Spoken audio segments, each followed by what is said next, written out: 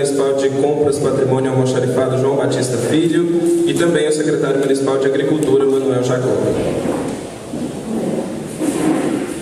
É, nós queríamos reforçar mais uma vez que há algumas pessoas que não passaram pela mesa e assinaram a ata. A gente pede para que, numa oportunidade, vocês retornem lá só para assinar a lista de presença e também a ata dessa audiência pública.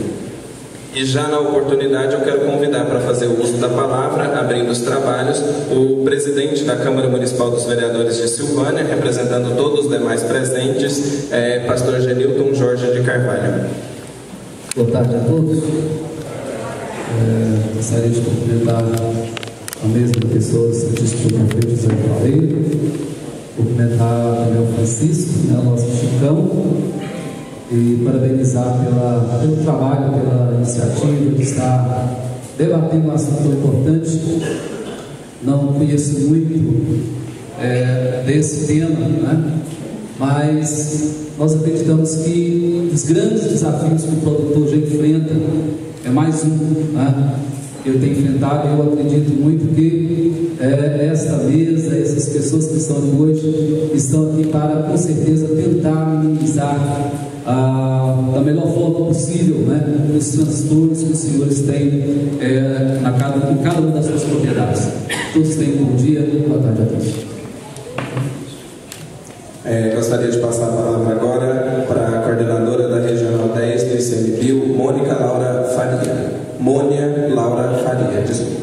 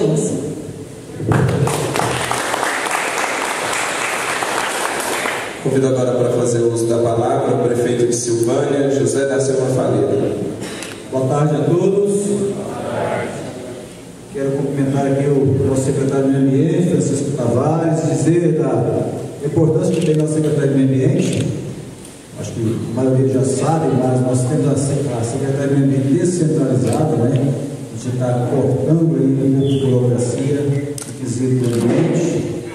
É, a Mônia Laura Faria, coordenadora regional da ESA Obrigado pela sua presença. Renato César Miranda, chefe da FONA, aqui de Silvânia. Cristiane Ross, técnico da IFAEG, o órgão da IFAEG, né? Daniel Terra, presidente da Associação Nacional de Caça e Conservação. Eduardo França, superintendente do Ministério da Agricultura, o Edson, o Edson Trigueiro, chefe da fiscalização do mapa, André Brandão Alves, chefe da divisão de defesa da agropecuária, Fernando Borges, Osso, coordenador de sanidade e saúde da Defesa, Tenente Bandeira, comandante do pelotão de bombeiro militar de Silvânia, Capitão Lopes, representa o Major Marcelo, que ah, acaba de assumir o comando aqui da nossa companhia. A Vitória, representando aqui a Emater, Pastor Genildo Jorge, presidente da Câmara de Vereadores. Estendo meus cumprimentos ao vereador Mi, ao vereador Cleber França. Quero cumprimentar aqui os secretários presentes. É sempre importante a participação dos secretários para acompanhar que é a ação voltada ao município. João Diogo, secretário de Administração, João Batista, secretário de Compras, o Elson, secretário de Comércio, Manuel Jacob, secretário de Agricultura. Quero cumprimentar aqui o Newton, da Copercil, Newton Carlos, ali, representando Copercil. Vários órgãos que estão presentes aqui também, que eu fiquei impressionado com a quantidade, com a representatividade aqui nesse evento. Então, cumprimento a todos vocês, os que estão presentes aqui, aqueles que estão querendo matar os javalis por ali, né, como é que faz. Isso é, faz parte né, da, é, dessa conversa nossa. Bom, é, nós sabemos do que tem causado aí esses, esses javalis, né, que tem causado de prejuízo, né, de desequilíbrio, vamos dizer assim, desequilíbrio ambiental que tem causado, não só os javalis, mas também outros segmentos aí da nossa fauna. É, e um evento desse é de suma importância, porque há muitas dúvidas de como é, proceder no eventual ataque, no eventual destruição que venha acontecer às vezes na propriedade né, de um vizinho, sua, né, e do município, do estado, enfim. E nós temos aqui hoje vários técnicos, inclusive é, a polícia, né? que sempre tem esse embate, né? a fiscalização vem acaba parando na polícia. Então eu quero saber como é que se faz isso. Como é que se controla, né? como é que se faz um controle controlado. Né?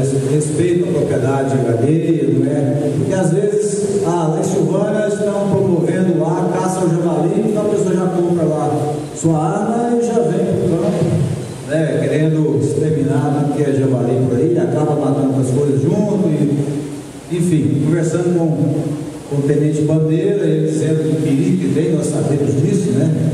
Se fazer a coisa é, descontrolada de forma é, sem orientação, é um risco também. Mas é importante então fazer esses controles de forma controlada, de forma consciente.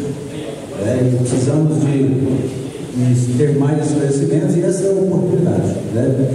Estamos aqui para tirarmos as dúvidas para poder é, equilibrar esse nosso ecossistema que estava pensando aqui no passado, né? Mas que o equilíbrio era mais tranquilo, era natural e hoje acaba que a gente encontra alguns desequilíbrios, às vezes causados por nós mesmos, né? A introdução do, do javali aqui, né? a expansão da, das criações, a solta, é, as proibições, enfim, nós estamos aqui hoje para discutirmos isso e chegarmos aí numa estratégia de ação desse controle do, do javali que vem trazendo alguns prejuízos, né? Tem causado esse desequilíbrio. Um bom evento a todos. Muito obrigado.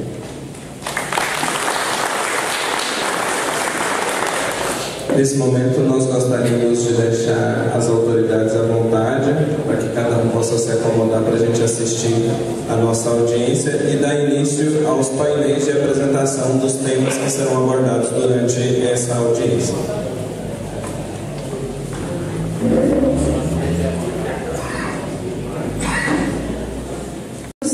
Estão sendo prejudicados, né, e a gente está até buscando fazer um levantamento para ver que prejuízo é, é esse, né? E tentar mensurar, quantificar. A CNA também vem fazendo isso. Então, o intuito é esse, né? De, em conjunto, a gente buscar solução para esse problema. Então, é, eu vou comentar um pouquinho da caracterização do javali e seus impactos. O javali é, que nós temos aqui é o javali europeu, Sus estrofa, que é o, o nome científico dele. Ele é originário da Europa, Ásia e África.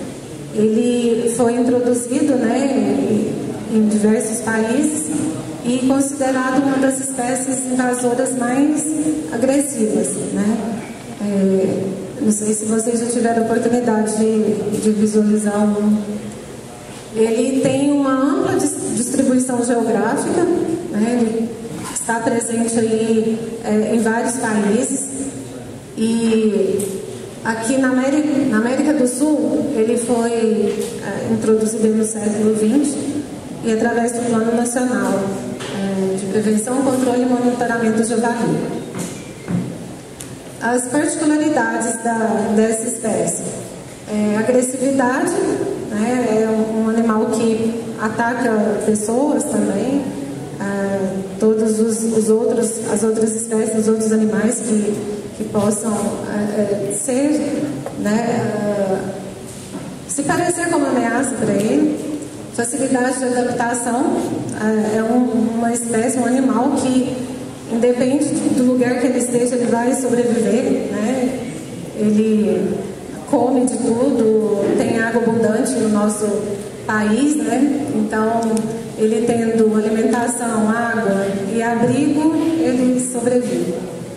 A reprodução descontrolada e com maior número de filhotes por aparição. Isso aqui ocorreu mais em função do, do cruzamento né, do, do, javali com o nosso porco doméstico, nosso menino doméstico.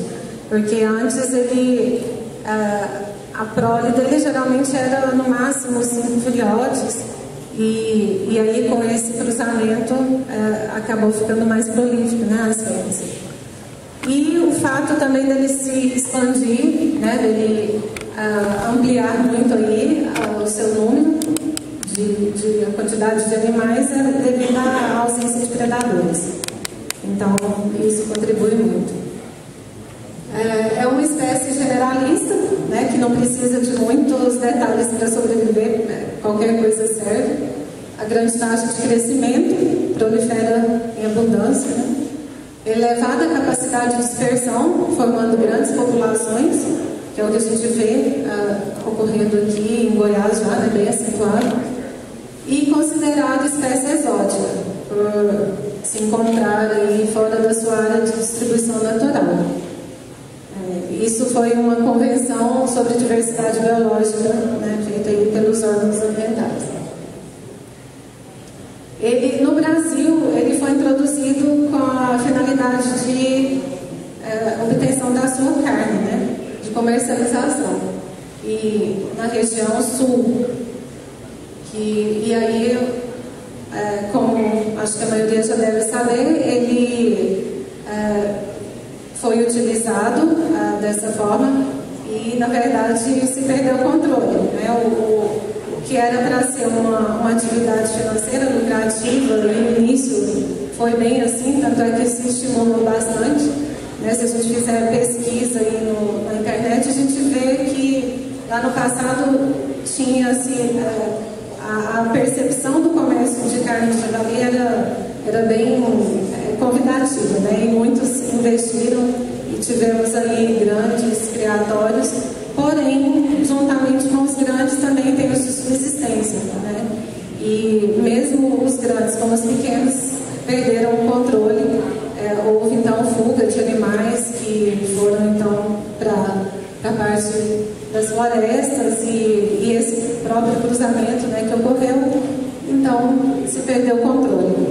Ah, aqui não está dando para ver, mas essa foto é, aqui do ladinho tem inclusive caminhão carregando né, o javali assim, na carroceria, levando, então assim foi bem descontrolado né, e acabou então se perdendo o controle da, da produção.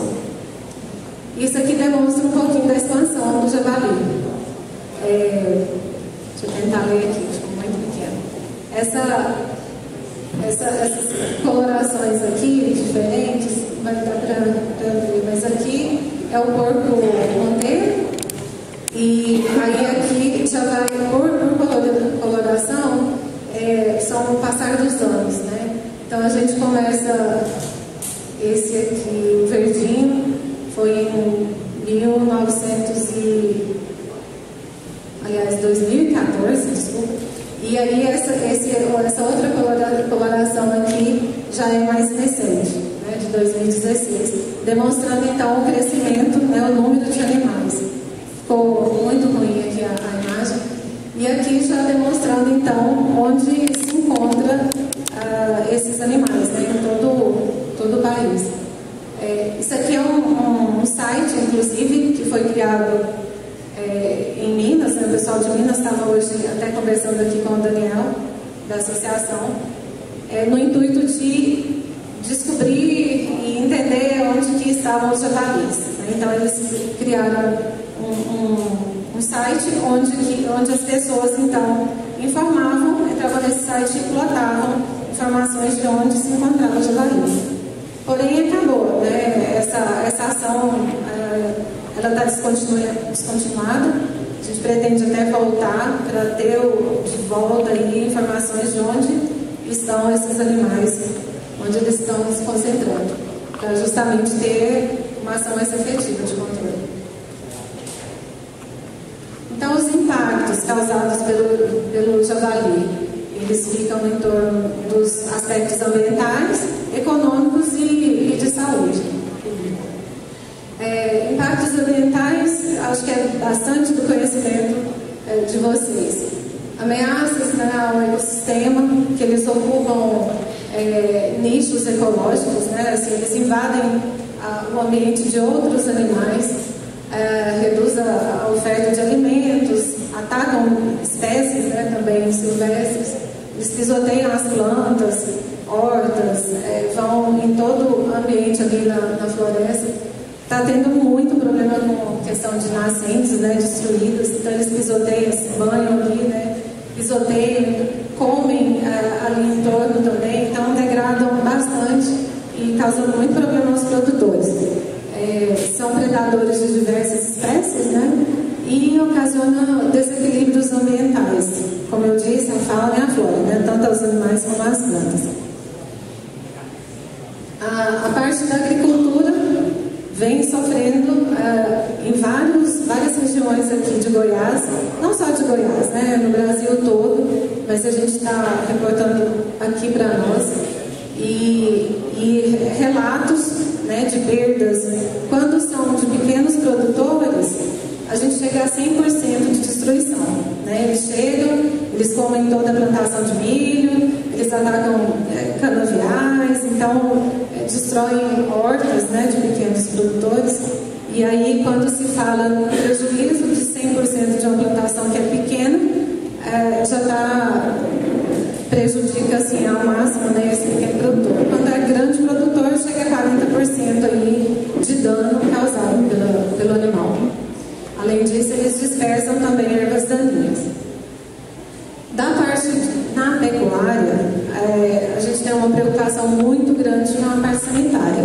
Né? Então, ele é, é, é, um vetor né, de transmissão de doenças.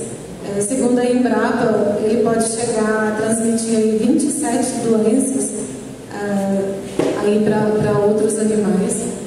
É, a gente tem feito um trabalho muito intenso aí, vocês colaboram muito com isso, que é com a vacinação de aftosa, né? Eles acabam sendo sentinelas para nos avisar em caso de, de alguma introdução do vírus, mas a gente já está livre há muito tempo de aftosa. Mas tem as outras doenças, né? A peste clássica também, que a gente conseguiu agora o status de área livre de peste clássica porém uh, são 14 estados e os demais ainda têm. Né? Então, como o javali circula e, e ele já está subindo né, para regiões norte do país, então é preocupante.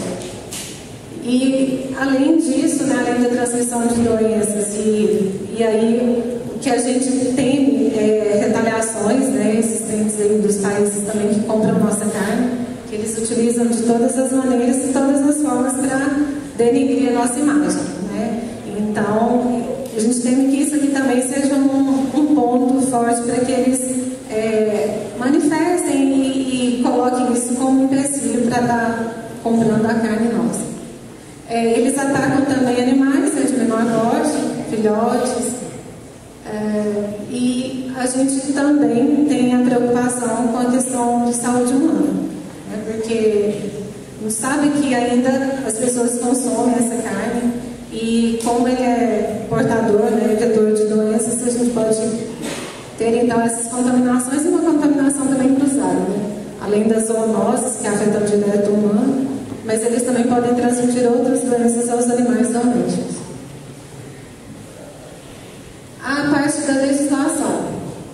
É, em razão dessa, desse aumento descontrolado, né, o, os, os, órgãos ambientais é, sentiram a necessidade, então, de, de se criar né, legislações discutiu a problemática aí, a, que o javali vinha causando. Né, ataques a seres humanos, crescente ameaça aí aos ecossistemas, né? E, e aí o IBAMA, então, declara, né, pela, por todas essas características apontadas aqui, o IBAMA declara, então, a nocividade da espécie e autoriza, então, o seu controle. Né? Isso foi feito com regras estabelecidas na IN 3 de 2013. E aí, então, é, se é permitida a caça, né, seguindo todas as regras é, contidas aqui na, nessa instrução normativa. É, então a IN permitiu a caça com cães, é, pode se utilizar. Uh, agora a gente tem uma nova, uma nova legislação que, que saiu agora recente, que, que já dá, caracteriza um pouquinho mais. É, podem se usar armadilhas, né, mas não aquelas que, que firam o animal ou que matem o animal. Né? Tem que ser realmente armadilhas que só, somente prendam esse animal e depois você promove então a, a, a, o abate né? de forma correta, sem, sem causar mal-estar ao animal. É, é, até engraçado falar em, mal-estar se você vai abater, né? questão de respeitar as condições de bem-estar. Mas até para o abate a gente tem regras né, que, que diminuem aí, é, essas questões de dor, né, de sofrimento ao animal. E a questão de controle nas propriedades privadas, né, que regulamentou e realmente assim, o caçador ele não pode invadir propriedade sem autorização prévia do, do produtor rural, do proprietário. E isso vem ocorrendo né, e de forma assim, muito preocupante. Né? A gente sabe que, que é difícil uh, o conhecimento chegar a todos, mas os esforços têm que continuar, a gente tem que levar isso. E, e na verdade, assim, pelo bom senso, ninguém deveria né, uh, adentrar a uma propriedade pela cerca, por qualquer via que fosse. Uh, você tem que sempre lembrar que é uma propriedade privada. Né? Não tem muro, mas ali tem que ser respeitado. Principalmente para caça, né? que você está utilizando arma, você está colocando em risco outras pessoas está colocando em risco a sua vida também como caçador, porque a pessoa, o proprietário pode achar que é um assaltante, né, um ladrão. Então tem que seguir todas as regras. É, e o instrução normativa foi o uso de veneno, tá? então, de forma alguma é possível utilizar, e armadilhas que matam ou machucam, como eu tinha dito. É, e depois, em 2017, foi construído o plano nacional, né, pelo Ministério da Agricultura e pelo Ministério do Meio Ambiente, construíram, então, por técnicos dos variados órgãos ali, é, agentes envolvidos, é, construíram, então, o plano de controle e monitoramento do javali. Aqui consta também né, o fato de você respeitar as outras espécies que não são consideradas como exóticas. Né? Essas daqui não podem ser abatidas, não podem ser caçadas, né, que é o queixado e cabrito. Ele tem as características bem evidenciadas, né, diferenciadas aí do, do javali, questão de, dessa faixinha branca aqui, né, e o cabrito aqui. Então, assim, dá para é, diferenciar, né? Antes de, de propriamente partir para o abate. E aqui a, a, eu demonstro um pouquinho das ações que o IBAMA, os órgãos ambientais, então, diante dessa construção dessa legislação que veio para o setor, ele sozinho não ia conseguir. Né? Então, acho que ninguém consegue ir muito longe sozinho. Então, ele começou a buscar as, as instituições, que é uma reunião lá na FAEG, onde o IBAMA pediu apoio, né? eles precisavam estar, estar divulgando essas regras ah, sobre o, o, controlada, como se faz o cadastro né, de caçadores, é, todo o plano que foi construído. E, e aí a FAEG pronto já ajudou a questão de mobilização de produtores né, e divulgação dessas informações aos produtores e também da coleta de informações, né, porque aí no caso a gente precisa de saber também ter o retorno do produtor de onde se encontram esses animais e quais os prejuízos. E eles então construíram esse folder, né, de forma que aqui através do folder você já passa informação diferenciando os tipos de animais, né, as espécies, quais as diferenças existentes entre eles, é, para esclarecimento então desse caçador, desse produtor, né, para deixar bem claro que não pode ser batido as espécies nativas. Aqui também outra, outra ação que foi feita em conjunto, é, visando buscar o status para Goiás né, de livre de peste suína clássica, então, foi feito um trabalho em conjunto com a Agrodefesa, a Associação Goiana de Suinocultores, a FAEG, o IBAMA, onde se treinou os caçadores, né, fez todo esse processo aí de atualização de cadastro, e aí a Agrodefesa capacitou os caçadores com o intuito de uh, eles abatessem esses animais e colhessem também o sangue para realmente assim, a gente se enquadrar na questão do pedido lá, né, comprovar que não existia doença aqui. Então, a análise do sangue, né, o inquérito que foi feito, a agrodefesa, então, é, tinha como é, objetivo né, prestar essas, é, levantar essas informações e uma série de outras é, determinações dos organismos internacionais para a gente realmente é, comprovar a inexistência do, da doença aqui no estado. E aí, dessa forma, foi feito o trabalho e foi muito uh, eficiente, né, a ponto realmente desses 14 estados conseguirem essa condição de livre de peste suína clássica, fazendo com que uh, o nosso mercado fique uh, aberto, né, e a gente tem então a participação, a possibilidade de venda de carne para vários países. Então foram essas entidades que eu disse que se envolveram e buscaram esse resultado.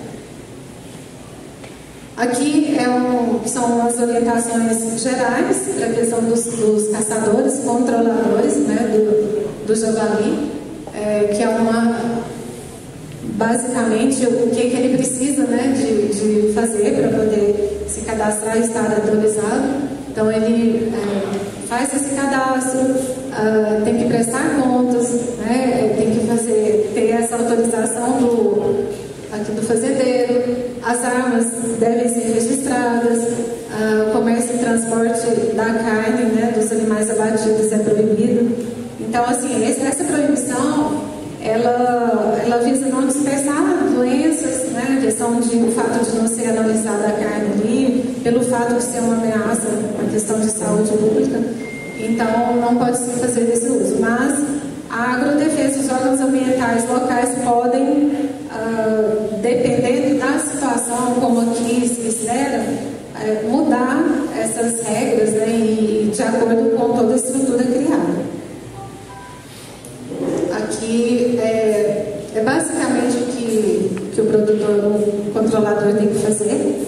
É, é uma questão que a gente vem discutindo né, entre os órgãos porque a forma como se, se estabeleceu na lei, ela, ela acaba estimulando certos é, caçadores que estão regulados.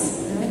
Eles ficam expostos, ah, geralmente assim, eles se organizam, porém se eles não prestarem informação é, do que eles abateram, né, aqueles relatórios que têm que ser prestados, eles acabam ficando sujeitos aí a certas vistorias. Então, a gente tem que é, discutir isso, né, tentar verificar o que, que isso realmente está trazendo de bom para o plano, né, ou se pode ser melhorado.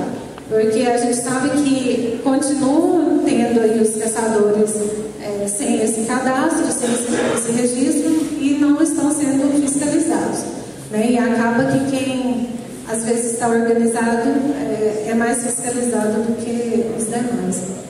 Então é uma questão que a gente traz aí também para as, as entidades que compõem, sempre está discutindo a, a, legislação e aprimorando, né? Como toda lei, ela é criada, é uma situação nova que a gente vive, então as leis são criadas e são constantemente uh, atualizadas e melhoradas. Aqui é um modelo de ficha, que são vários. E Agora a gente realmente entra na parte da área prioritária, né, que é com essa ação específica aqui em Silvânia, que é a condição de flora, né, a floresta nacional, onde a gente tem que então atuar de forma um pouco mais direta para evitar né, é, problemas maiores para a nossa, nossa fauna e flora aí da, da, da área. Então, para isso, foi desenvolvido o plano de controle do javali, aqui em Silvânia, onde todas essas instituições compõem, e aí a gente desenvolveu então e trabalhou várias ações que devem ser é, realizadas, uma delas é essa, né, da audiência pública aqui. E, além disso, tem outras ações. Cada instituição tem a sua obrigatoriedade, a sua obrigação de estar. Obrigação, assim, a sua parceria, né, de estar realizando, conforme é o perfil da instituição. E a FAEG e o IFAG entram, né, o sistema sindical entra, entram aí nessa condição de levar informação ao produtor, tentar reportar ele à legislação, colocar as regras, né, ajudar a levantar essas informações e trazer os órgãos é, responsáveis, né, como o IBAMA, o Ministério, então, para desenvolver as ações específicas. E a CNA também, ela tem trabalhado, criou um núcleo gestor dentro da Comissão de Meio Ambiente, e para isso a gente vai então somar esses esforços. É, nós criamos agora um questionário né, para o produtor identificar onde está o javali e se ele teve o, algum prejuízo com relação ao ataque de javali. É, eu peço quem tiver recebido esse, esse questionário, é pequenininho, é só informar realmente a, a, o proprietário teve é, pelo ataque do javali, informar a localidade e o completo. Então, isso é de grande importância porque as nossas ações de, de controle do javali, elas tá, estão tendo também um impacto nos ativistas, né? Em algumas, é, alguma linha de pensamento que trata o javali como um, um animal doméstico, ou quer aproximar para isso, né? E, e não, às vezes, trazendo como irrelevante aí a, a condição dele de agressividade e realmente de, de prejuízos aí à nossa, nossa fauna e flora. Então eu peço até que, se vocês receberem esse questionário, que respondam por gentileza, caso se enquadrem nessa questão de prejuízo. Então era isso que eu tinha que, que falar para vocês, era mais para trazer o conhecimento um pouquinho dessa do Javali né, e estamos à disposição para contribuir. A FAEG, o IFAG, o SENAC, é, inclusive o SENAC, só para complementar mais uma das ações, é, em nível nacional uh, a gente tem uma, todo um treinamento já em São Paulo, que o Senai já fez uh, para esses caçadores, controladores e até produtores rurais, com cartilhas específicas de orientação da legislação, o que, que pode, o que não pode. E a ideia nossa é expandir esse treinamento também para as outras é, unidades, né, as outras federações. É, tudo no intuito realmente de estar contribuindo aí com esse plano. Né, Muito obrigada a todos pela paciência aí.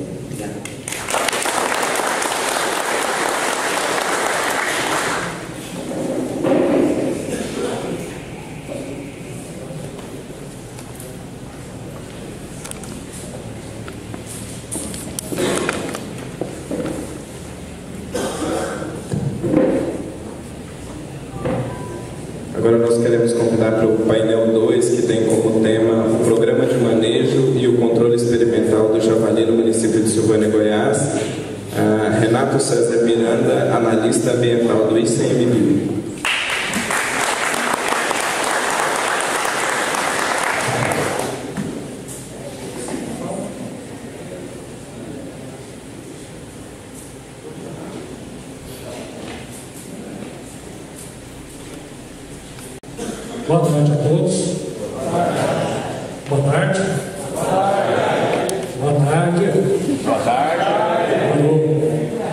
Sejam todos bem-vindos. É uma satisfação recebê-los aqui. Nós vamos procurar ser breves na nossa breve, na nossa fala, mas a presença de vocês aqui já demonstra o tamanho do desafio que nós estamos enfrentando aqui no estado de Goiás especialmente na região de Silvânia. Pois bem, diante desse desafio que nos foi colocado, e esse desafio nos foi colocado pelos, pelos proprietários rurais, pelos moradores de Silvânia, era muito comum ah, o Francisco, que é secretário do Meio Ambiente, os nossos servidores da Floresta Nacional de Silvânia, a gente receber cobrança da comunidade com relação ao javali, e o pior de tudo, com esse bicho instalado no nosso entorno, dentro da Floresta Nacional de Silvânia, nós começamos a discutir o que fazer para enfrentar um desafio desse tamanho. Um bicho que se adapta com facilidade ao cerrado, que tem onde você tem alimento, você tem água, que se multiplica numa escala considerável, duas, três vezes ao ano. E nós, desarticulados, ouvindo as reclamações das pessoas, as inquietações, e que hoje, no nosso debate, eu acho importante que os produtores rurais que aqui estão presentes, os moradores de Silvânia, externem essas preocupações, porque uma coisa é o Renato falar disso numa reunião, a Luciana, que está aqui, que tem acompanhado esse processo diretamente. Outra coisa são vocês, que estão no campo e vivendo e enfrentando essa questão no dia a dia. Então, nós começamos uma primeira iniciativa no mês de agosto de 2018, que foi um seminário para discutir a questão do javali no município de Silvânia. Prefeitura, ICMBio, IBAMA, Agrodefesa, EMATER, e essas instituições começaram a levantar essa questão. O que fazer diante do desafio que nos é colocado? Como enfrentar essa questão?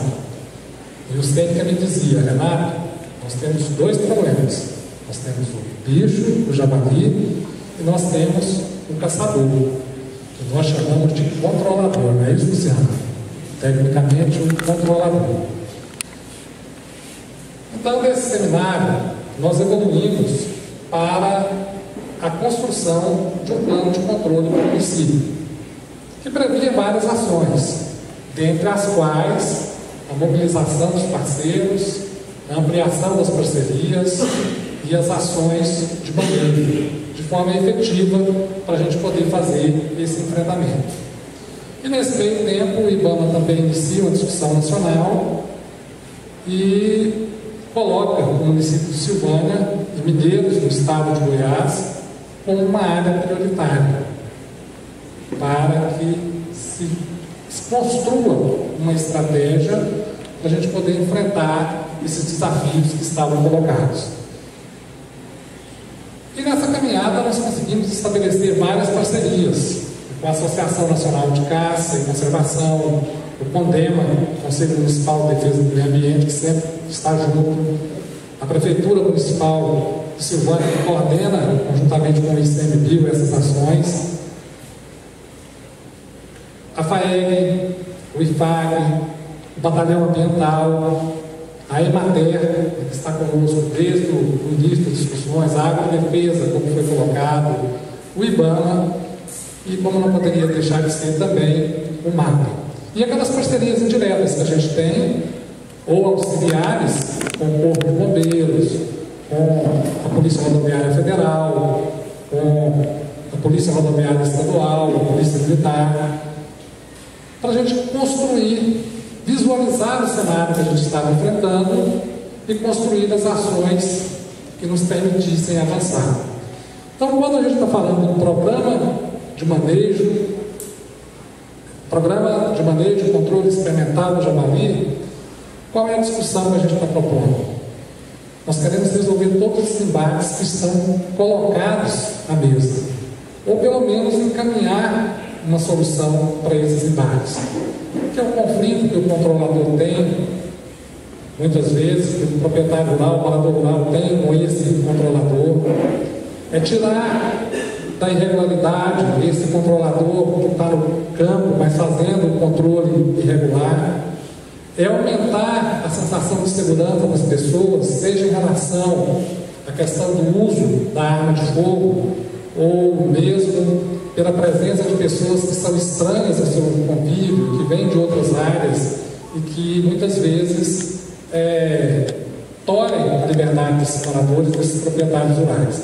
Então, quando a gente fala do programa, nós queremos controlar a dispersão do javali, diminuir a sua população, que a gente não sabe qual é o tamanho dela, mas a gente tem indícios que apontam que não é pequeno, e dentro do plano de controle, nós também estamos pensando numa estratégia de pesquisa para poder fazer esse monitoramento, e o próprio programa em si já é uma ferramenta de, de pesquisa, porque ele vai permitir aferir quantos bichos foram abatidos, né, desde, é claro, que essas informações cheguem aos órgãos de controle, cheguem ao IBAMA, principalmente, para a gente ter essa, essa noção. Né? Então, nosso sonho é reduzir essa população de javalis que está aí dispersando pelo município de Silvânia. Quem conhece também o município hoje, o javali está presente em praticamente todas as áreas do nosso município. Então, nós precisamos sensibilizar as pessoas. Nós precisamos envolver as pessoas nessa discussão.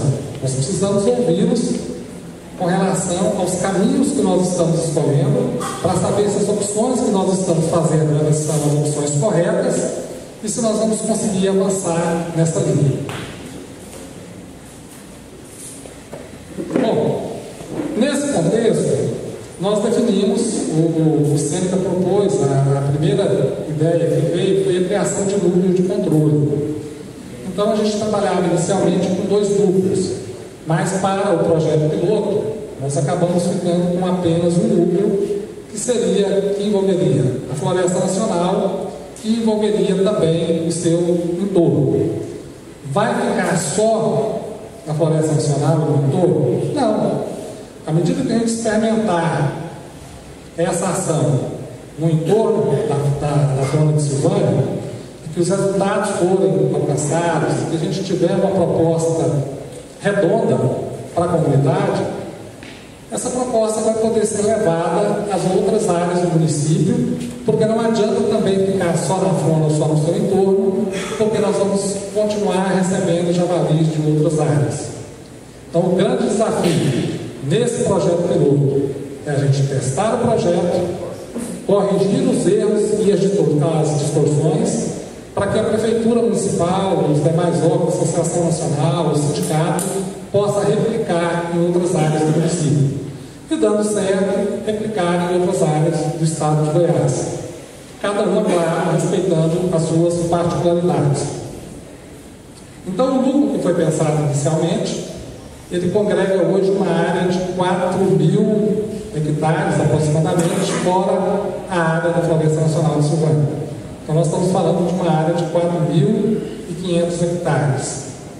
É uma área relativamente pequena, perto do tamanho e da dimensão do problema que a gente está enfrentando. Mas é aqui que as nossas pernas nos permitem alcançar, nesse momento. Quem participaria desse programa nesse primeiro momento? os controladores vinculados à Associação Nacional de Caça e Conservação. Renato, mas por quê? Eu não posso participar? É muito complicado para nós, enquanto instituição, lidar com o varejo, com o CPF, com o seu João, com o seu Pedro. Mas quando a gente tem uma referência estabelecida, que é a Associação Nacional de Caça e Conservação, isso facilita o nosso controle. Porque nós estamos falando de uma atividade que é complexa, que não é tão simples, que envolve a segurança do proprietário e do morador rural. Nós estamos falando de uma atividade que vai fazer uso de arma de fogo E nós estamos falando de uma atividade que tem riscos e implicações para a saúde pública. Então nós temos, nós temos que estar muito bem calçados, muito bem alicerçados para poder impor uma ação na nossa área de influência, impor a maneira de ser, mas desencadear seria a melhor palavra, de forma a iniciar esse processo de controle e de manejo. Então, esses 40 controladores, eles estariam cadastrados junto à MCC e seriam eles que realizariam essas atividades de manejo no entorno da Floresta Nacional. Tá, mas eu moro em Silvânia e eu quero fazer um manejo também e eu quero fazer um manejo no entorno da flora de Silvânia. Não tem problema. O ICMBio, o IBAMA, a polícia, nós não vamos impedi-lo de fazer esse controle. Desde que você atenda às exigências legais que estão colocadas para isso. Se for com uso de arma de fogo, que essa arma esteja devidamente registrada junto ao Exército Brasileiro.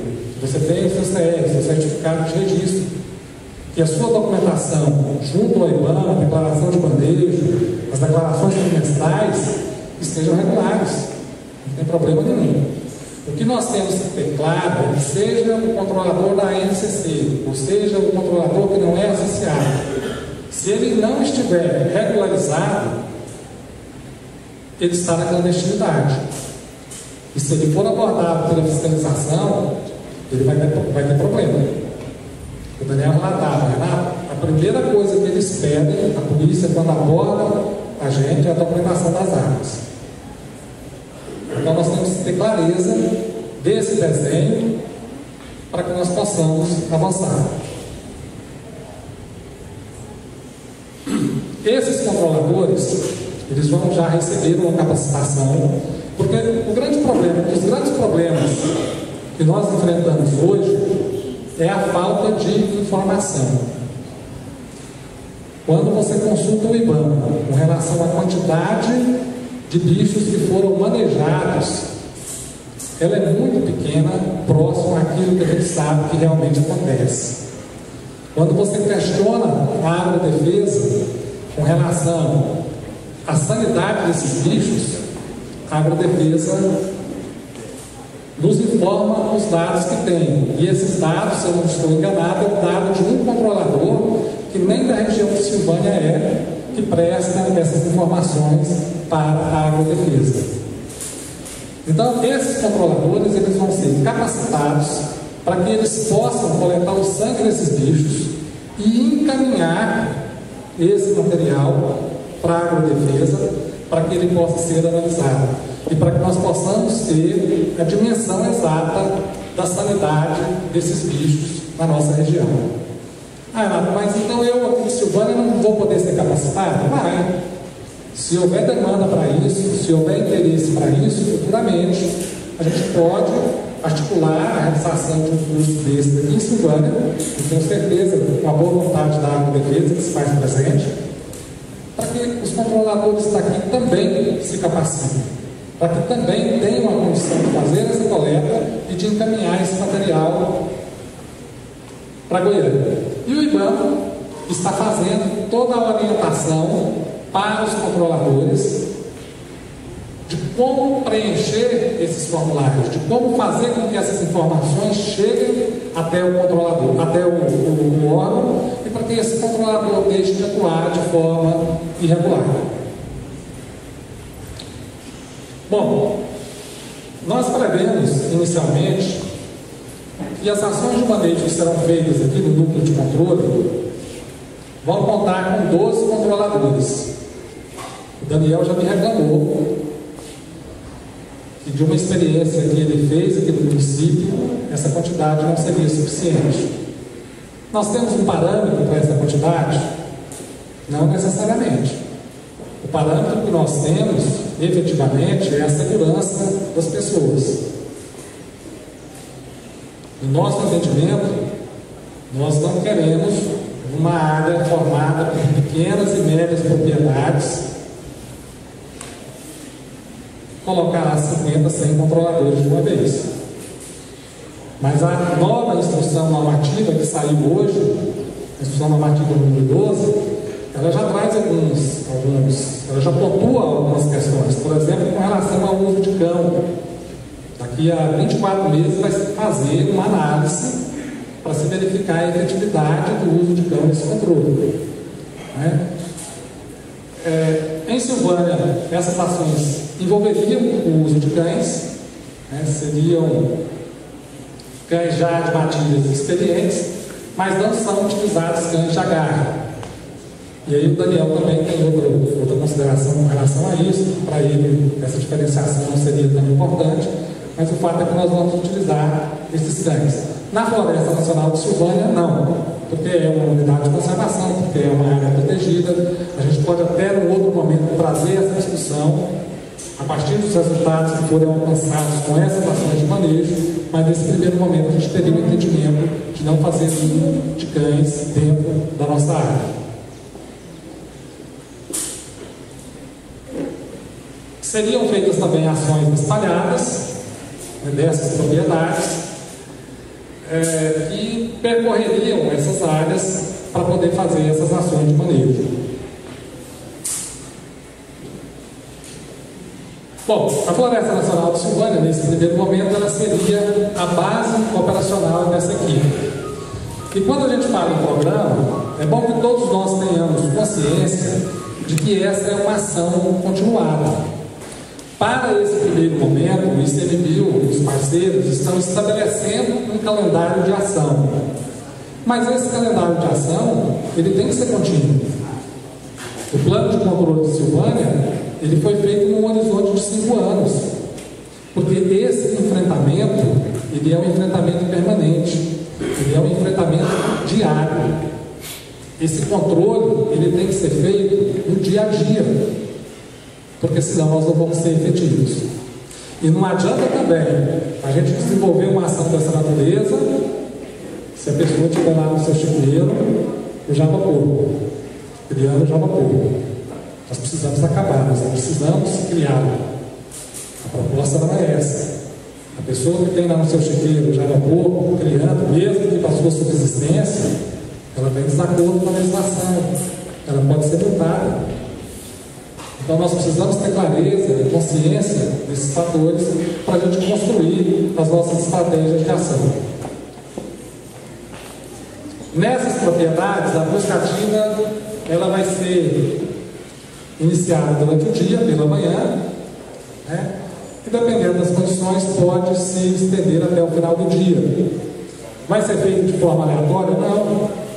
Daniel vai comunicar a esse proprietário que ele está indo, ou que a equipe dele está indo, quem são as pessoas que vão estar indo, para que essa ação de manejo possa ser executada. Para não acontecer o que tem acontecido aqui muito, os relatos que a gente tem recebido de carros que chegam nas propriedades, às vezes à noite, de madrugada, com pessoas armadas e que o proprietário não tem ciência, não tem consciência do que aquela ação vai ser desenvolvida ali. Já as esperas, elas vão começar no início da noite né, e vão se estender até amanhã no dia seguinte. Isso aqui talvez muito com foco na Floresta Nacional de Silvânia. Esse é talvez um dos pontos mais cruciais das nossas ações o transporte da carcaça. Porque nós estamos falando de um lixo que não é permitido a doação, não é permitido a venda da carne, mas é permitido apenas o consumo próprio. E o Fernando está aqui, a gente colocou aqui uma cota de 100 quilos, mas até isso a gente pode discutir hoje, sei que a gente vai discutir aqui hoje, porque nós não temos parâmetros. O que, que vem a ser o consumo próprio? Nós, a nossa conversão, nas primeiras conversas que nós tivemos com a agrodefesa, poderia ser 100 quilos. Tá, mas como vai se dar esse transporte? Porque a agrodefesa regula o transporte comercial. Para o comércio, eu chegar na área e, me colocar como comerciante, a que ter uns parâmetros, vai me dar esses parâmetros sem nenhuma dificuldade. Mas e o consumo próprio? Como é que fica?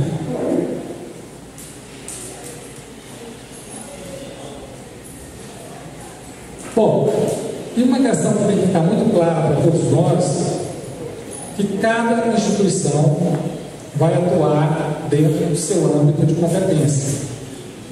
E uma coisa que é fundamental, é ele, a instituição normativa, a nova instituição normativa que saiu hoje, que complementa a, a, a 03, essa instituição normativa, ela deixa claro que o proprietário rural ou o responsável pela área rural, ele tem a prerrogativa de autorizar ou não o manejo dentro de sua propriedade.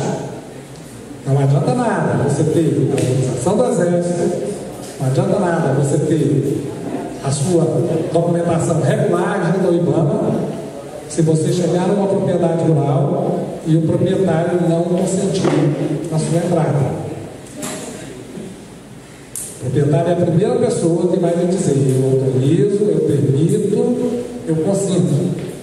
Eu vejo que faltou talvez na instrução normativa deixar claro se essa permissão ela seria uma permissão tácita, sem necessidade de um documento escrito, ou se haveria necessidade de um documento escrito. Porque nós temos posicionamentos da Procuradoria Federal que entende que bastaria uma, uma autorização tácita. Bom, o nosso cronograma ele vai sofrer, em função dessas mudanças que ocorreram na legislação, em decorrência de um pedido do IBAMA, essa, essa, essa data de lançamento das ações de manejo vão sofrer um realinhamento.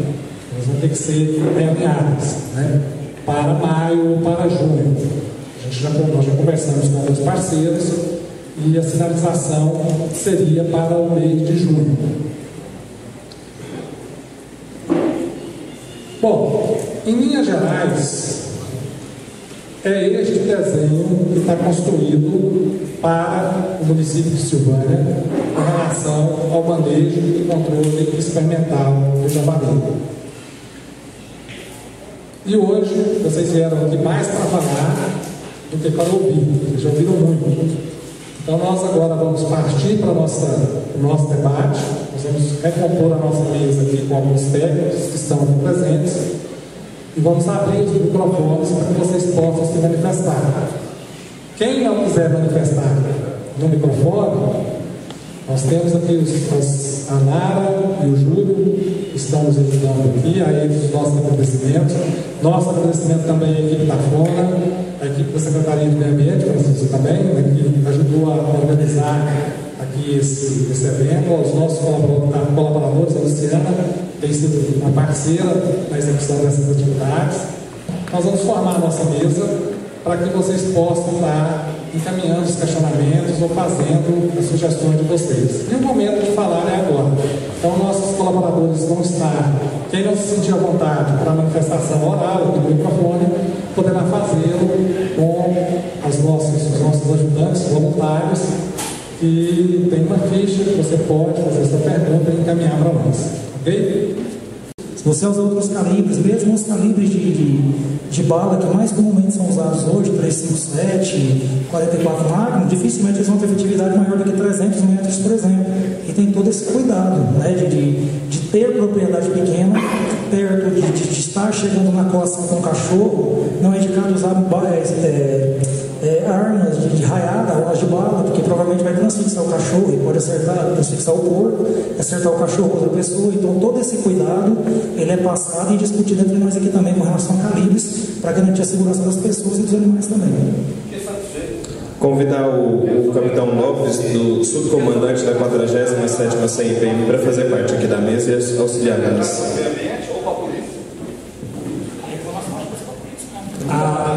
Nós, só para registrar, seu Joel, nós estamos, um desafio que a gente tem é de trazer a polícia para uma ação efetiva também no, no município de Silvânia. Estou satisfeito, ele está muito proveitosa a reunião, mas eu quero agora para então, Muito obrigado. Nós agradecemos a participação do senhor. E o Batalhão Ambiental, ele é parceiro e ele vai estar presente nos dias em que essas ações forem desencadeadas. A Polícia Rodoviária Estadual está participando dessas das reuniões, da última reunião que nós tivemos, e a Polícia Militar também, a gente quer envolvida nesse trabalho, dadas essas questões que têm sido levantadas. É, eu peço licença, houve uma pergunta aqui, eu vou passar no microfone.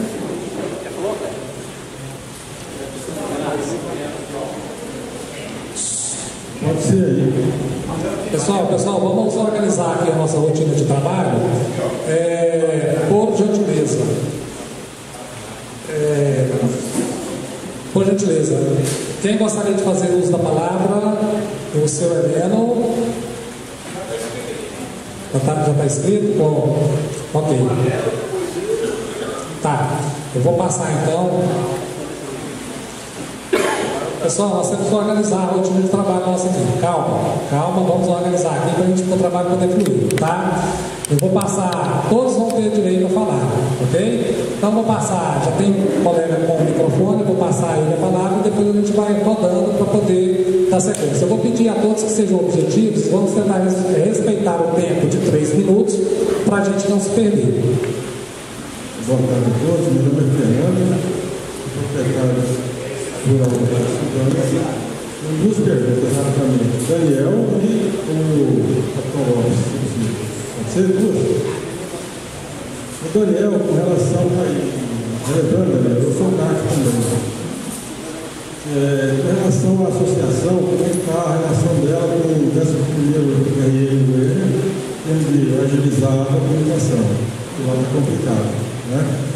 E se foi mandado um ofício para o batalhão aqui referente ao coloque 28, porque nós temos sofrido também retaliações aí da PM, fiscalização. E também questionar por que não tem um delegado ou alguém representando a Polícia Civil aqui hoje, porque normalmente os CACs estão sendo retidos aí, é, incompreensíveis aí com relação à Polícia Militar, sendo encaminhados à delegacia.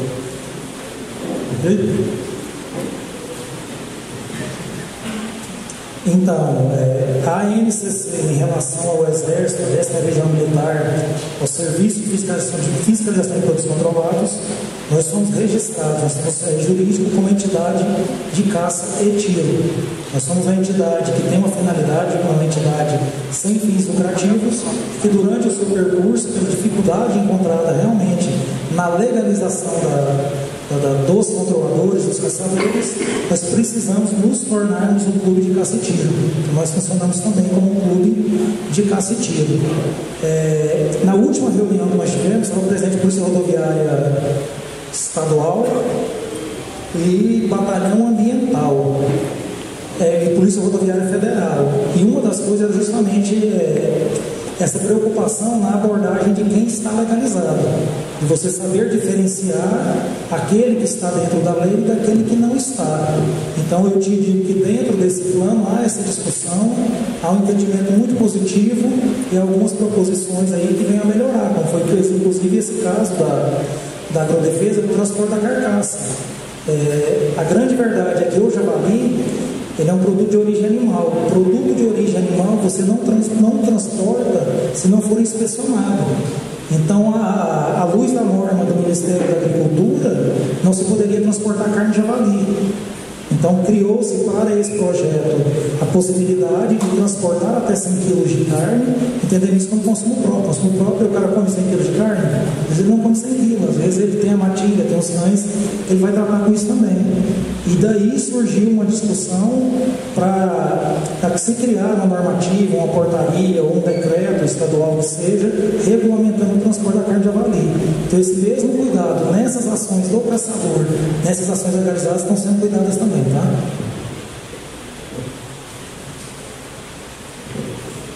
Boa tarde, Capitão Lopes. Eu estou aqui representando a 47 Companhia, cuida do Serviço Operacional aqui de Silvânia.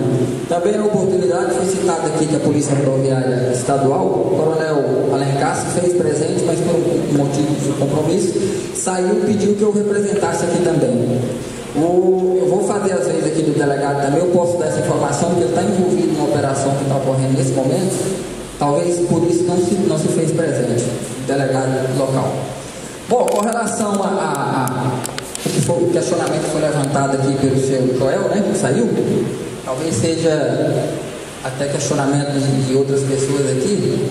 É para isso que foi realizado esse evento, tem uma série, tem um cronograma ali, tem um dia que vai ser específico só para dar orientação de como proceder, de como fazer, para que nenhum crime seja ocorrido. Desde a invasão de propriedade, desde uma lesão, uma possível lesão corporal, ele falou o caso de um disparo de arma de fogo atingir alguém, um dano a patrimônio, que seria o caso de atingir o animal. Então, é para isso que foi tomado essa série de cuidados justamente para poder, a audiência pública também faz parte de, dessa organização. O que que acontece? A Polícia Militar ela vai se fazer presente é, através de três setores internos, a Polícia Militar Local, a Polícia Rodoviária Estadual, que vai estar abordando o cidadão que está lá transitando na rodovia para ter acesso aqui, e a Polícia Militar Ambiental, que também vai estar envolvida. Então o papel, o papel nosso da Polícia Militar aqui vai, vai ser dito as diretrizes, a norma, o que, que pode, o que, que não pode, como que deve ser o transporte. E o papel nosso é fiscalizar o cumprimento dessas normas que vai ser, é, é, que vai ser colocada aqui para os senhores.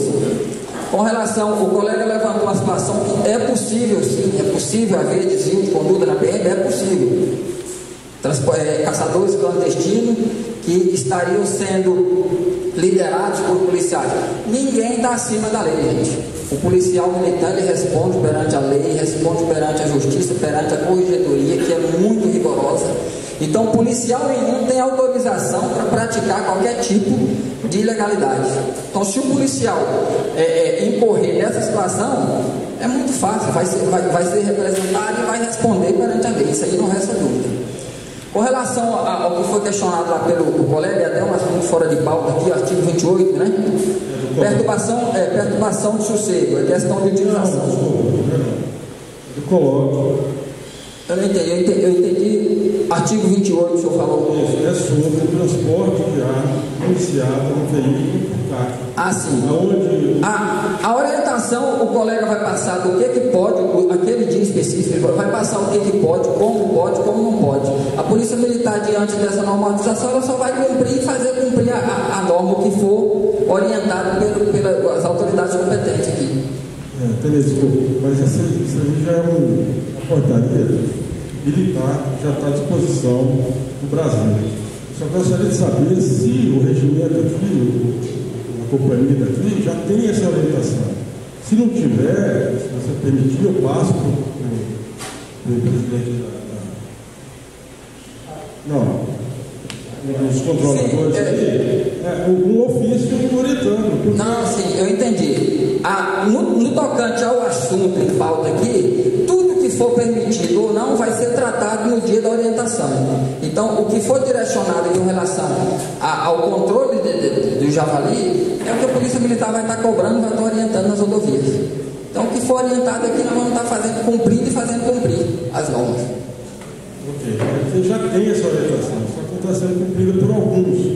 Né? Às vezes por, por ser arbitrário, fiscalização e tal. Mas depois, se você quiser particular, que nós gente passa, não tem problema. Tranquilo, tranquilo. Daniel vai fazer uma complementação com relação a esse assunto. E essas questões, gente, nós já identificamos assim, a necessidade de um nivelamento de informações com relação à questão da área de segurança. Isso independente da ação que está programada dentro do contexto do programa de manejo. Nós já conversamos isso com a Secretaria de Meio Ambiente e a gente está construindo uma estratégia para poder nivelar essas informações aí, não, não pensando no programa, porque o programa está delineado, mas pensando mesmo no dia a dia é, operacional de todas as instituições envolvidas. Vamos lá. A portaria 28 do COLOG, ela não tem nada a ver com caça. O que, que a portaria 28 do COLOG trouxe de novidade? Ela permite ao CAC transportar uma arma municiada, uma arma curta, pode ser revólver ou pistola, é, calibre restrito ou permitido, de casa para o local de prática esportiva, onde vai competir, atirar ou treinar, e no retorno para casa. Durante esse trajeto, ele pode estar com a arma municiada para pronto uso para a defesa do acervo. Pode usar essa arma para defender o acervo de caça? Por incrível que pareça, não. Tem outro decreto presidencial que regulamenta o estado de conservamento que diz que as armas de caça e colecionamento têm que ser transportadas desmuniciadas. Então, assim, o assunto não é pertinente com relação ao controle de javali. Mas agora, adentrando no assunto que a gente, que a gente já conhece um pouquinho, a legislação, essa legislação do Exército é muito específica. O policial militar, no curso de formação, ele tem noções, me corrija se eu estiver errado, capitão ele tem noções de legislação. Ele não desce a um nível tão específico quanto essa legislação é através de portarias do Exército. Então pode ocorrer de haver o desconhecimento. Goiás é até privilegiado porque tem muito, muito policial militar que é CAC também. Então, a orientação que a gente dá é: se houver o desconhecimento por parte de quem aborda, isso tanto no caso da caça, ou nesse caso específico da portaria 28, onde, onde o CAC vai estar com a arma municiada para pronto uso, que se dirija à delegacia, porque o delegado é autoridade judiciária, ele tem que ser formado em direito. Então, ele vai averiguar isso e vai liberar sem problemas. O policial te abordar não quer dizer que você está preso, ele te encaminhar até a delegacia não quer dizer que você está sendo preso.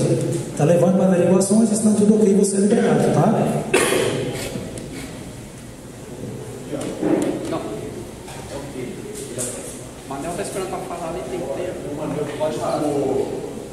Estamos falando legal da legalização, a gente está legalizando e vocês estão deixando o vaso legal de novo, porque está tendo um clube que está tendo uma liberação para isso.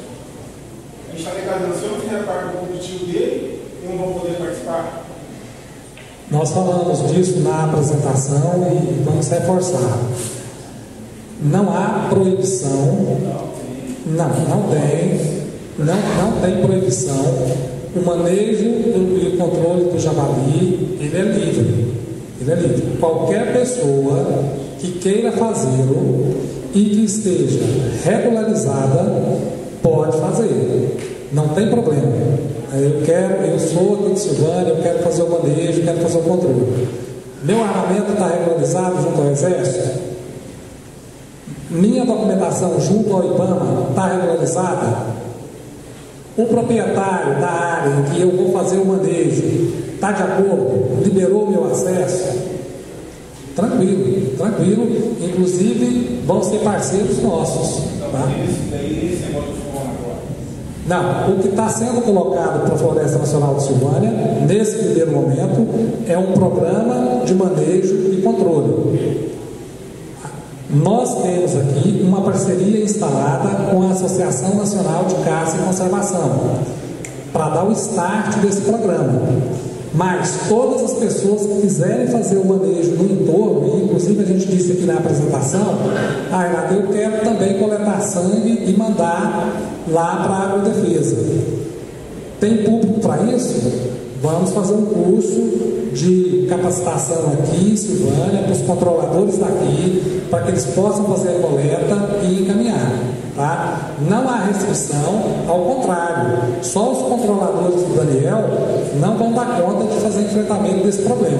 O que não pode acontecer aqui, o que a gente tem que efetivamente ordenar, é a, a forma como as coisas estão acontecendo muitas vezes, para evitar relatos como esse que foi colocado aqui pelo seu Joel. Por que, que não faz? Às vezes até a pessoa faz.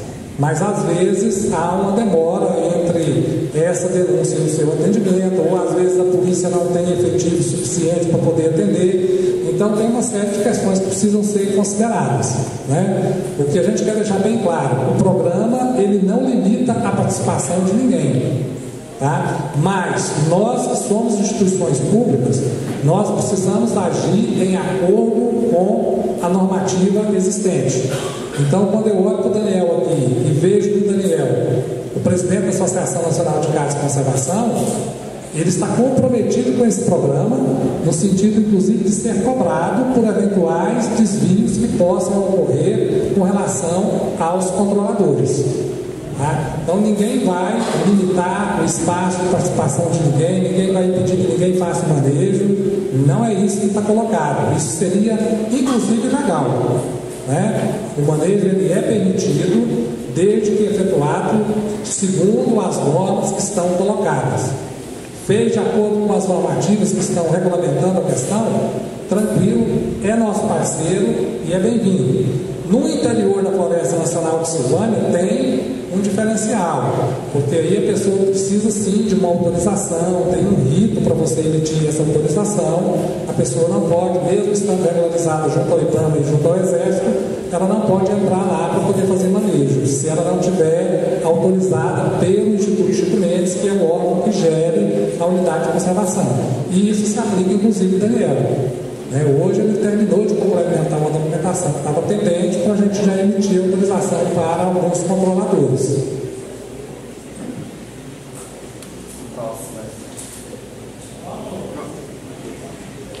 É, boa tarde a todos. Primeiro, eu quero parabenizar pelo evento. Eu estive no ano anterior, estive nesse vejo, Renato e Chico, que já evoluiu muito. Você mostrou para a gente já algumas coisas escritas, isso é muito interessante. Eu quero falar aqui, sou morador da zona rural, duas situações que a gente vive e a importância desse evento para mim, enquanto proprietário morador da zona rural. O javali é tão preocupante em algumas regiões, no caso nosso, que o Manel mesmo sabe. O cara que estava arrendando de milho ano passado, ele optou em plantar sorgo, não plantou milho, porque por causa das consequências do dano que o javali estava dando naquela região. Eu, outro dia, fui ligar um, um motor do rio lá de casa, tive que sair correndo. Fiquei com medo, eu não vou ficar aqui, eu tive que sair correndo. Então, isso é uma coisa realmente que está mudando o nosso hábito.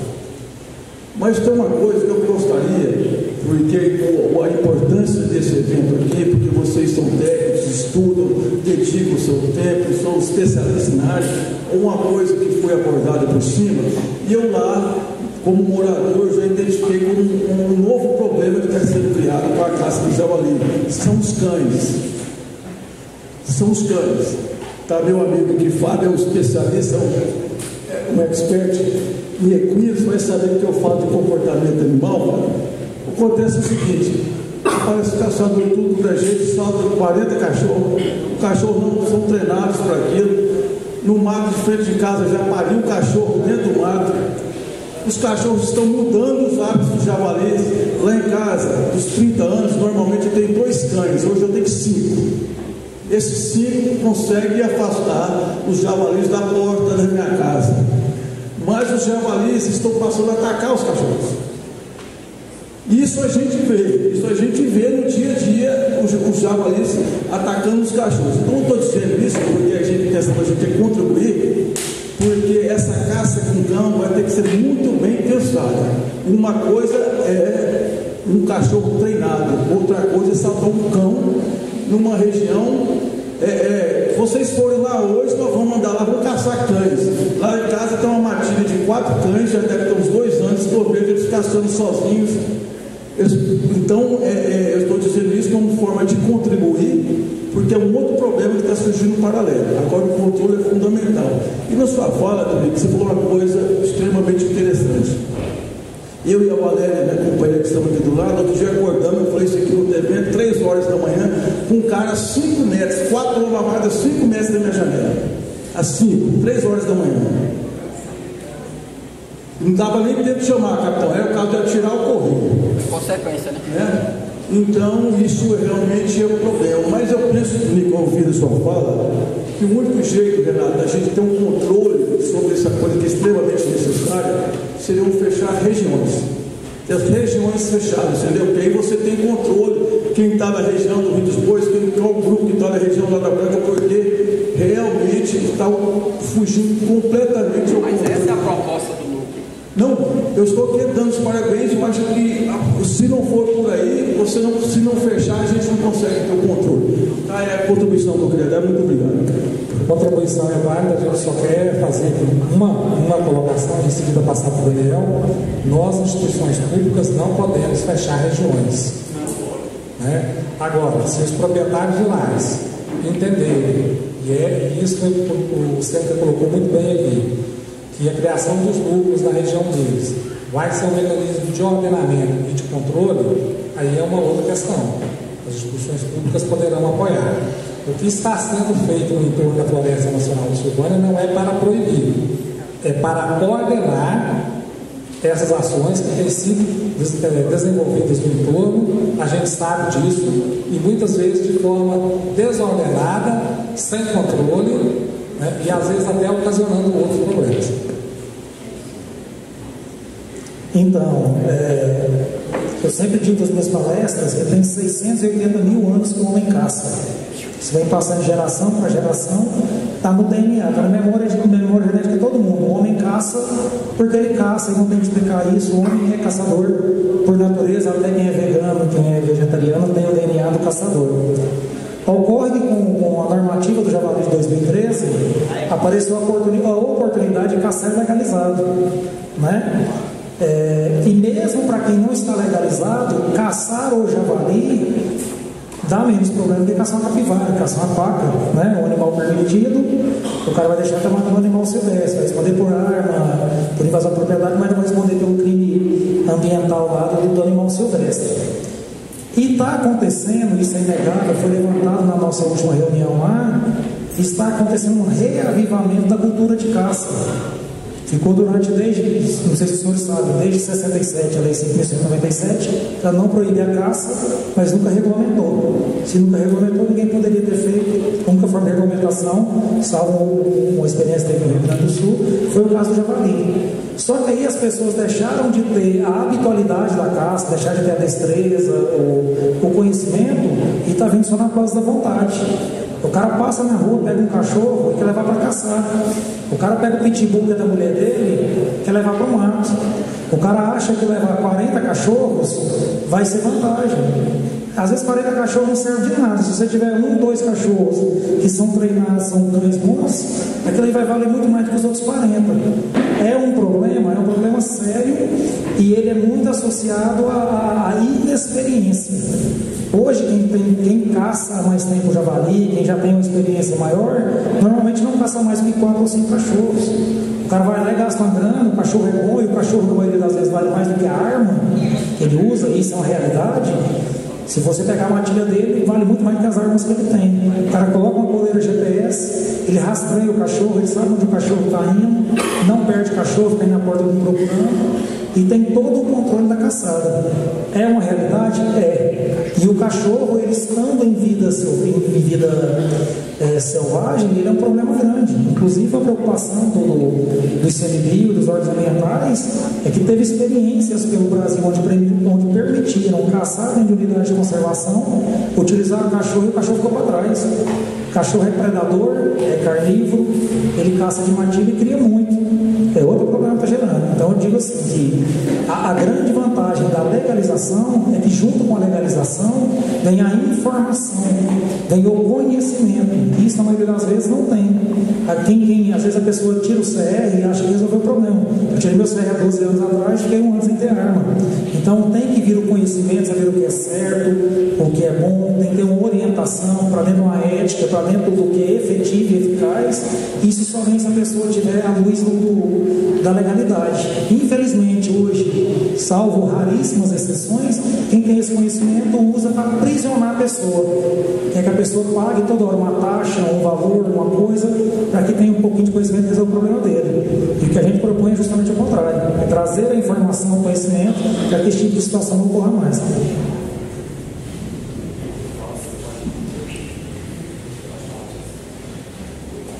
Boa tarde a todos.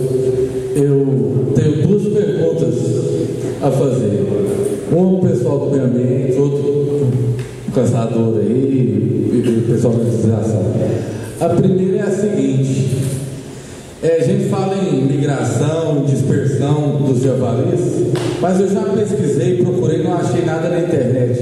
Ele é um animal sedentário ou não? O grupo da ICMBio, ele roda aquela região e está sempre por ali ou ele está em migração constante?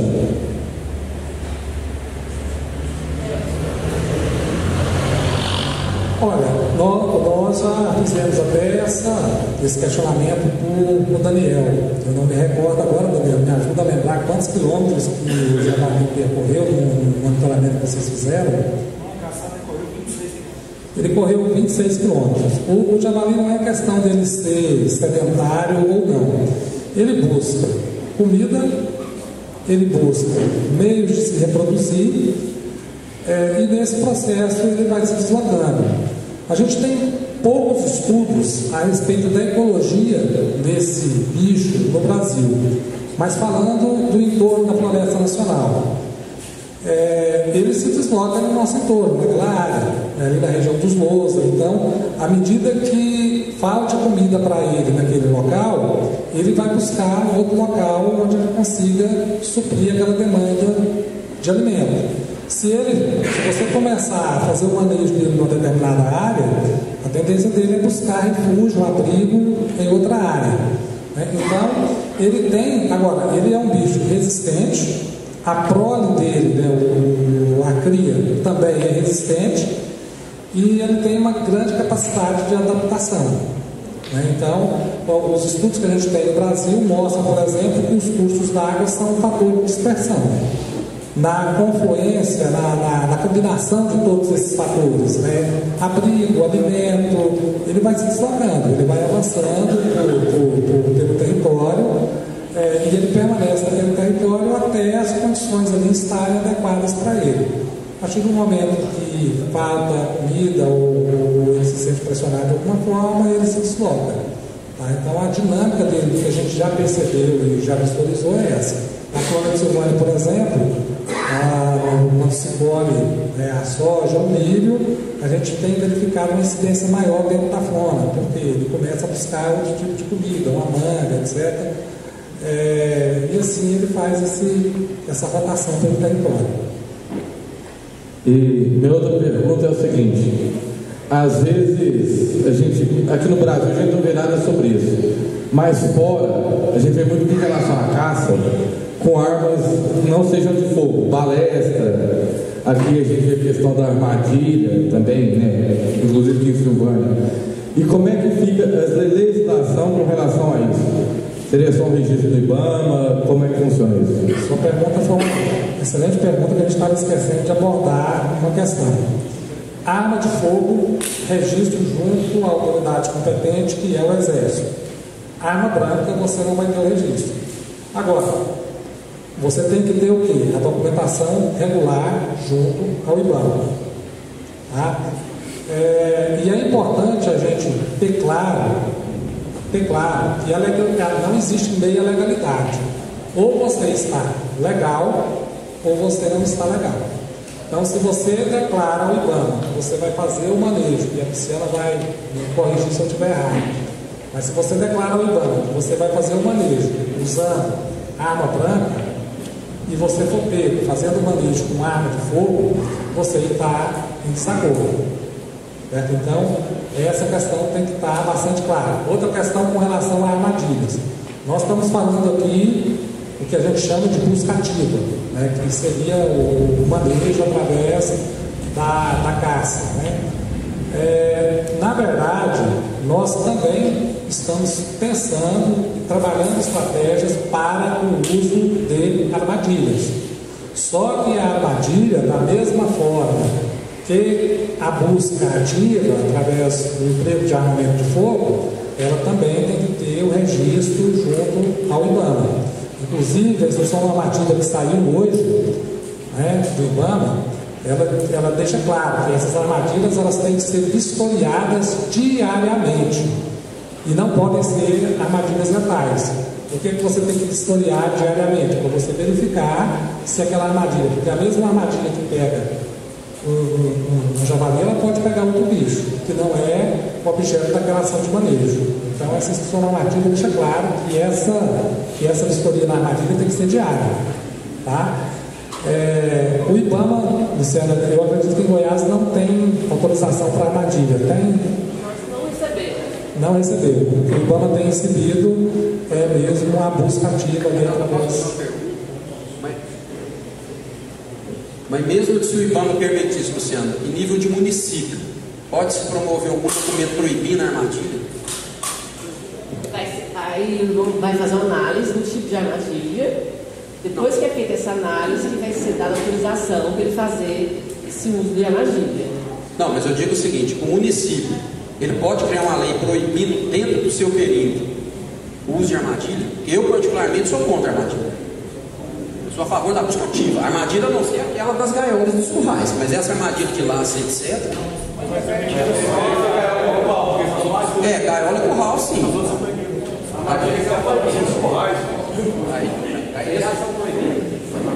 Existem vários tipos de armadilhas. É, então, por isso que é importante a gente fazer a, a vistoria e verificação delas, porque o intuito é impedir que machuque ou, ou cause dano ao animal. É, e aí tomar cuidado, mesmo havendo a armadilha, tomar cuidado no meio que será feito o abate do animal. É, porque a preocupação é, é, que não haja os maus tratos, que é considerado os maus tratos. Para você machucar o animal, ele é um, um ser, é, um ser vivo né, que, segundo a legislação, é, causar os maus tratos é crime ambiental com inclusive, com, com, com reclusão. Então, o intuito, tanto utilizando arma de fogo como arma branca, é evitar que haja esses maus tratos no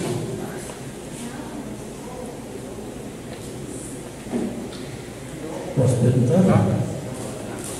É, Daniel, Daniel, eu vejo assim que tem é, hoje a grande número de, de javalis estão dentro das áreas agrícolas. E no período de, de palhada agora, eles se espalham com muita facilidade. E eu vi uma experiência na área onde tem milheiro, eles entram então, se você abrir uma área, deixar uma área limpa e depois você entrar com o voo entrando, você consegue às vezes matar 15, 20, 40 numa rodada. Se você tiver os atiradores profissionais com um quadriciclo, eu acho que é o suficiente para você matar o tanto de javali que você quiser município. Então eu acho difícil, porque é proibido distribuição dessa carne, que poderia ser distribuída para asilo, para pai, mas infelizmente é proibido.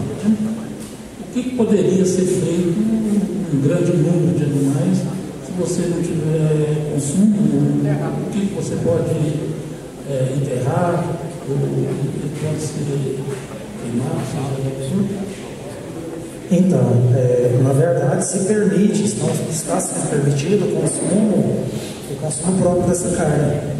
Mas a gente tem que entender o javali como uma praga. Se você abateu esse javali e você não vai aproveitar esse javali para o consumo, tem que dar a destinação carcaça. Então tem a, isso deve ser aí o pessoal da, da, da defesa poderia responder até melhor, né? Isso tem, que ser, isso tem que ser enterrado, não pode ser descartado de qualquer forma, em questão de contaminação de custo nascente, contaminação do solo. É, mas eu acho que o principal tem que ser o controle do javali. Se é uma forma efetiva que você consegue matar, tirar da natureza uma quantidade maior de javalis, então eu acho que não tem que ser pensado nem na destinação da carne, tem que ser pensado no dano que ele está causando, como qualquer praga causa. Por exemplo, caçada de palhada, eu já fui em caçadas que nós, no caminhonete, nós matamos 23 javalis numa noite. 23, de 17, de 12. É, o melhor método que existe é uma discussão sem fundamento nenhum, ficar discutindo qual é o melhor método. Não, o curral é melhor, a gaiola é melhor, não, é caçagem de cachorro é melhor. Hoje avaliar um problema tão sério que tem que se usar todos os métodos conhecidos, se aparecer alguma técnica nova, tem que ser aplicada, porque o problema ele cresce exponencialmente. Se a gente não tirar da natureza 70% dos javalis todo ano, ele continua crescendo. Se eu tenho 100 javalis, se eu abater 70, o ano que vem vai ter 100 de novo para ele se procriar e as condições.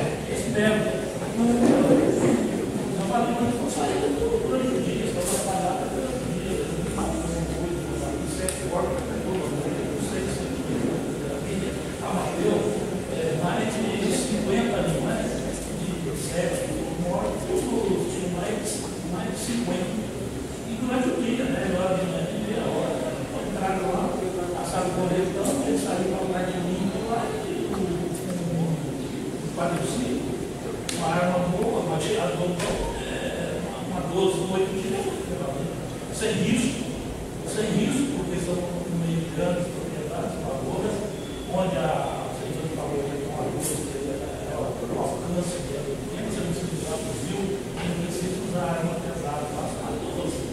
Uma 12 de oito dias com oito dias. Mas eu sinto que você vai mostrar que eles vão cansar. Primeiro que eles vão correr bastante, eles vão ficar correndo aqui, colocar você vai conseguir matar um bando sem, sem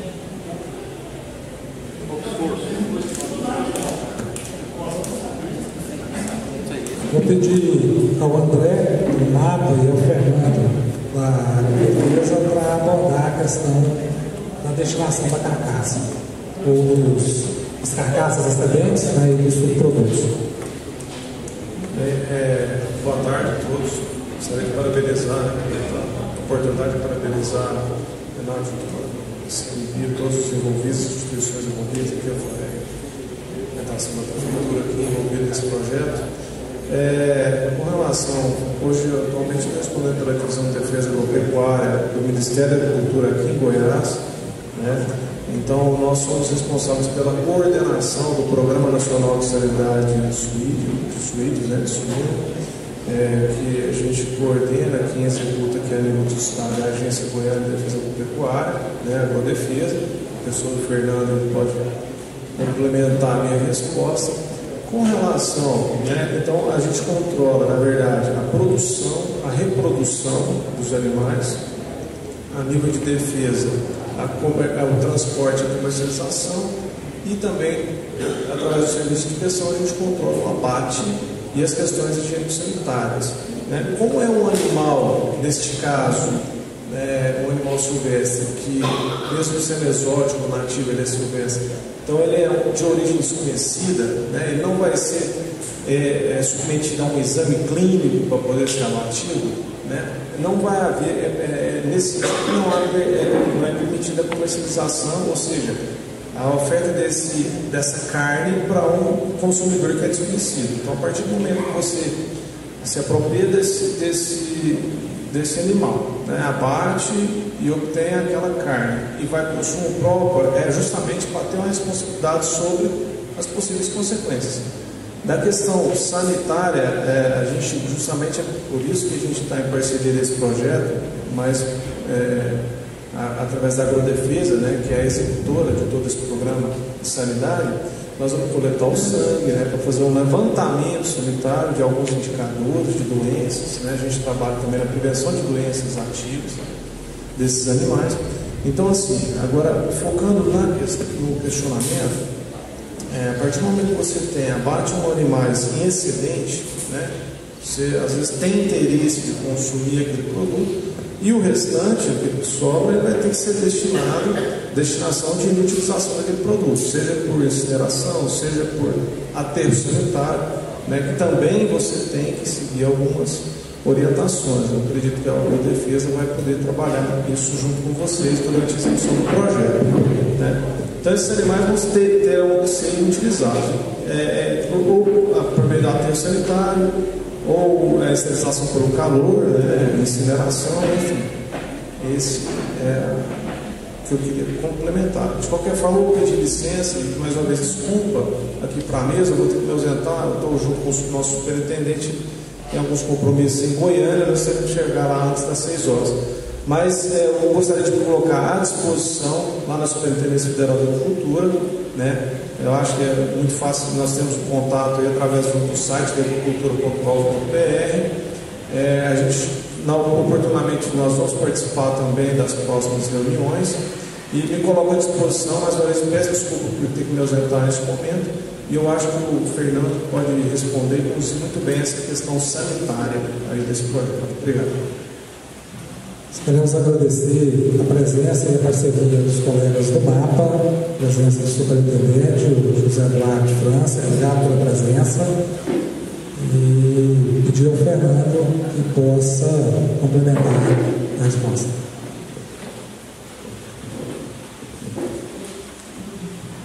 Boa tarde. É, como o colega do MAPA já falou, a gente trabalha com regulamentação é, de abate em regime industrial para comércio. Então a gente não tem nenhum tipo de regulamentação é, do abate desse, do javali em questão. É óbvio que a gente tem ah, aquele javali que vem oriundo de criatório, que vai para um abatedor. Inclusive, em Goiás, a gente tem um estabelecimento só que é cadastrado, que, que é permitida a criação do javali em cativeiro, com registro do IBAMA e na defesa e, e todos os, os trâmites que são pertinentes.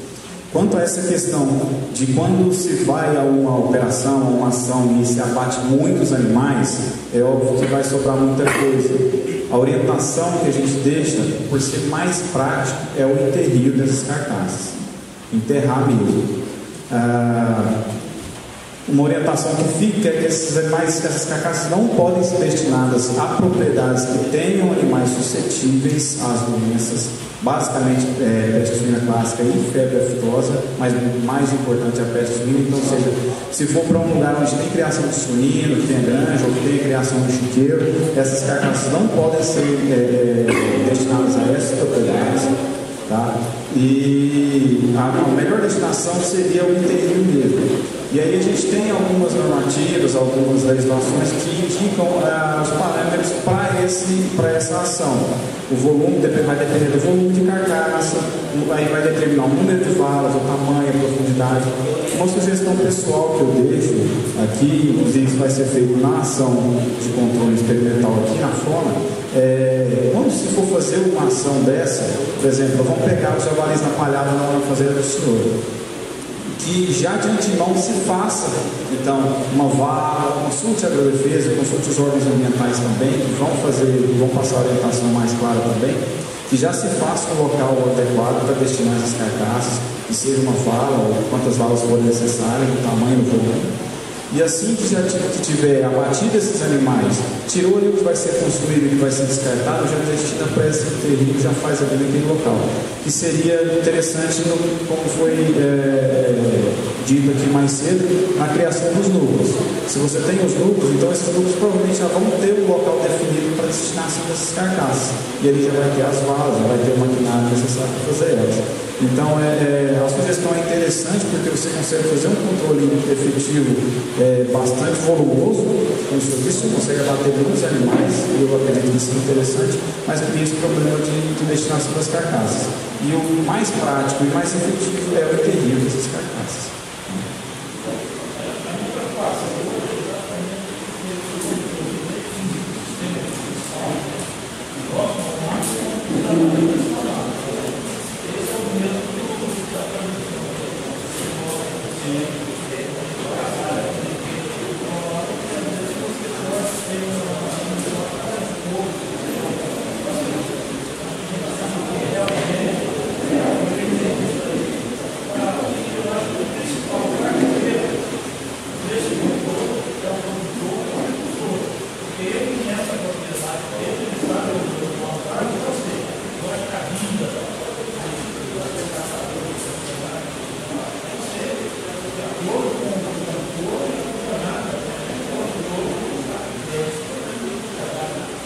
Perfeitamente.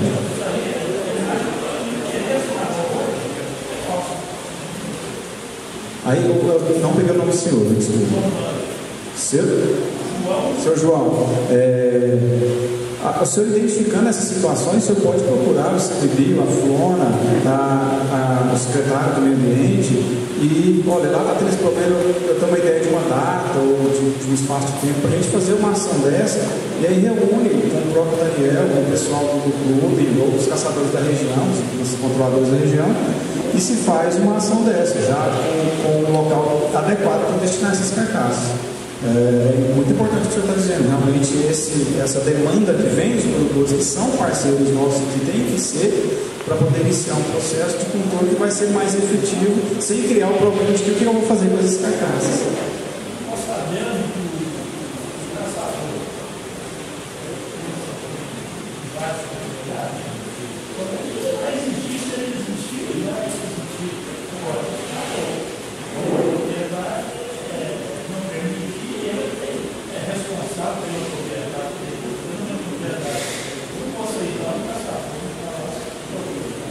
inclusive. A gente vê alguns relatos de alguns caçadores desses clandestinos que acabam abatendo e largando a carcaça ou os despojos lá. Porque tem que ter esse problema também, puxada, alçado, eles têm que ser enterrados, destruídos. E a gente, às vezes, ouve relatos de que o cara vai lá, mata 10, 12, leva um, dois para ele e larga o resto lá. Isso é crime ambiental. Até onde eu sei, isso é crime ambiental.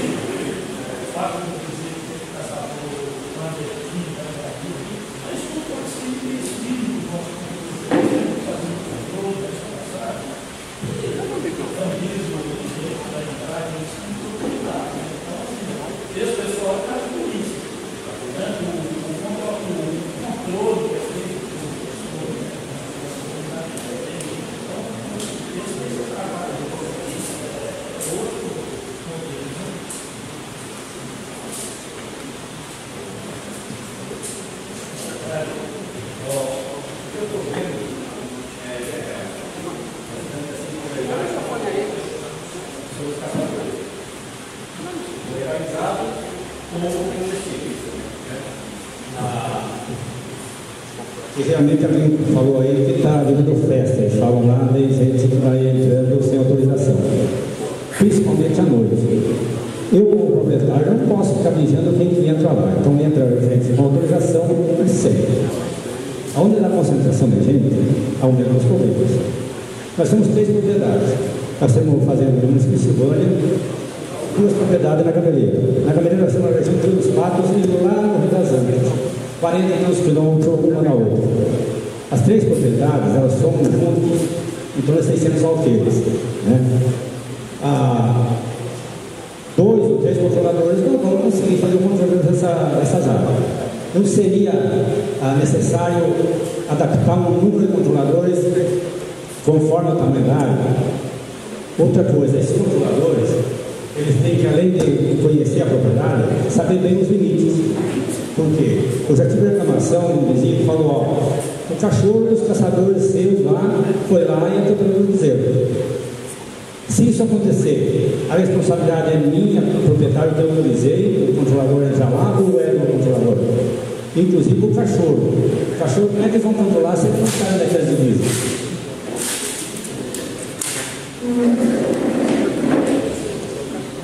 Vamos lá. É, essa ideia de 12 controladores seria. Vamos imaginar que é um piloto, que é, é uma unidade de conservação e propriedades pequenas ao redor. Se você olhar, a área é pequena. É esse núcleo onde vai ser feito o piloto. Esse é um piloto. Quer dizer que 12 controladores vão acabar com o Jaguari Silvânia? Não. A gente chegou ao número inicial, a gente acha que precisa mudar, de 12 controladores seria no primeiro final de semana, fazer uma experiência com três equipes de quatro controladores na região, na região aqui do entorno da, da Fona. É, o número total de controladores do projeto são 40. Mas por que, são 40? Porque a gente precisa ter a gestão disso. São várias entidades que estão, que estão é, é sendo fiadoras desse projeto. A AN60 entra como responsável, isso é responsabilidade jurídica também, porque a autorização de, de, de, de lá dentro do IBAMA é preenchida no nome da associação, então qualquer problema que tiver é problema da associação. Então essa quantidade, vamos imaginar com piloto. A associação, por exemplo, tem 1.500 associados. Esses 1.500, eu tenho 1.100 que já estão legalizados com o CR. No entanto, a gente está utilizando 40 nesse projeto. E a ideia, sem, sem dar muita volta no topo, porque eu não gosto dessas coisas, é pegar as 40 pessoas mais capacitadas, os 40 cães mais treinados, para a gente não ter nenhum tipo de problema, para gente, a gente fazer e aprender fazendo da maneira correta. Quer dizer que isso vai resolver? Não. A quantidade de, de, de controladores, isso vai da demanda. A demanda vai aumentar, vai ter que ter mais. Mesmo os 40 que estão inscritos nesse projeto, não conta de acabar com o Javari de Silvânia? Não! A gente tem que imaginar que é um projeto, e esse projeto ele vai se perpetuar pelos próximos cinco anos. O start inicial é com essa quantidade de gente. Ok? Então, você está claro. Ah, mas tem cara, eu tenho a propriedade no entorno da fauna e eu vou autorizar o pessoal ir lá, da associação, fazer o controle, estou precisando, chamar eles lá. Mas eu quero chamar uma outra turma para ir lá também, é proibido? Lógico que não, pode chamar também. Né? A pessoa vai estar, só que imaginando que dentro desse, desse contexto vai ter as pessoas que vão estar fiscalizando, tanto a gente ou qualquer outra pessoa que esteja, que esteja presente. Com relação a senhor permitir o controle na sua propriedade, qual é a maneira que a gente indica que se faça, a maneira correta? Quando tem propriedade pequena, ou tem algum produtor, algum vizinho que não gosta, não deixa, como eu disse, está em lei, é direito dele não permitir, o correto é você ir lá e avisar quem vai controlar, olha, nós estar caçando uma fazenda do seu vizinho. Se os cães passar para cá, eu vou entrar e vou tirar os cães. Não vou entrar nem com arma nem nada, mas eu vou entrar e vou tirar os cães. Não vou caçar propriedade que o senhor não gosta. Mas eu estou caçando aqui e tenho permissão. É a maneira correta de fazer. Supondo que o senhor permita que alguém faça o controle da sua propriedade, o senhor não tem o poder de fiscalização. O senhor não tem esse poder. Então, se a pessoa disse para o senhor que está legal, ou ela está ilegal, o senhor permitiu que entrasse na sua propriedade e ela invadiu a propriedade alheia para caçar, o senhor não responde sobre o ato dessas pessoas, não, tá? E só, e só, e só complementando, se eu estiver legalizado, eu tenho CR, eu tenho guias de trânsito, eu tenho minha documentação ao IBAMA, eu tenho a declaração de manejo, eu tenho autorização escrita ou taxa do proprietário para caçar na sua propriedade. Se eu entro para a propriedade alheia e ele chama a polícia, toda a minha documentação deixa de ter validade.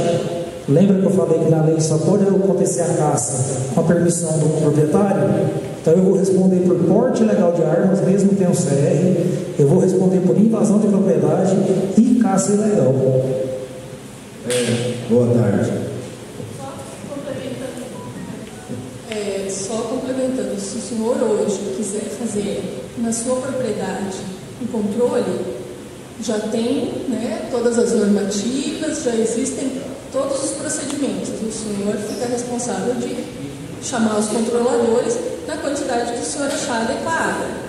Né? Na quantidade que o senhor... Então, dentro da sua propriedade, o que a gente está trazendo é o que a gente vai fazer nesse projeto piloto, que são, né, como já foi dito, foram, são as, as propriedades menores, é a área da Floresta Nacional. Então, para esse, nesse momento, a gente está chamando esse número de controladores.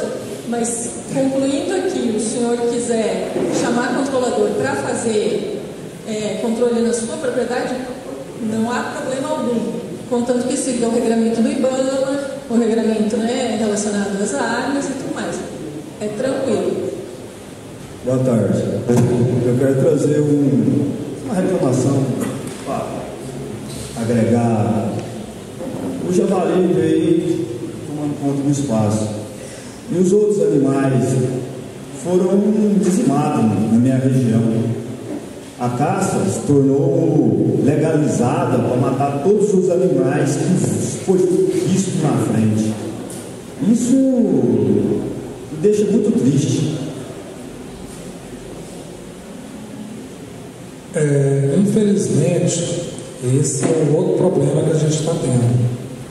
Então, quando você pensa no ordenamento dessas ações de manejo e controle, porque para nós, os órgãos ambientais, nós não estamos falando de caça.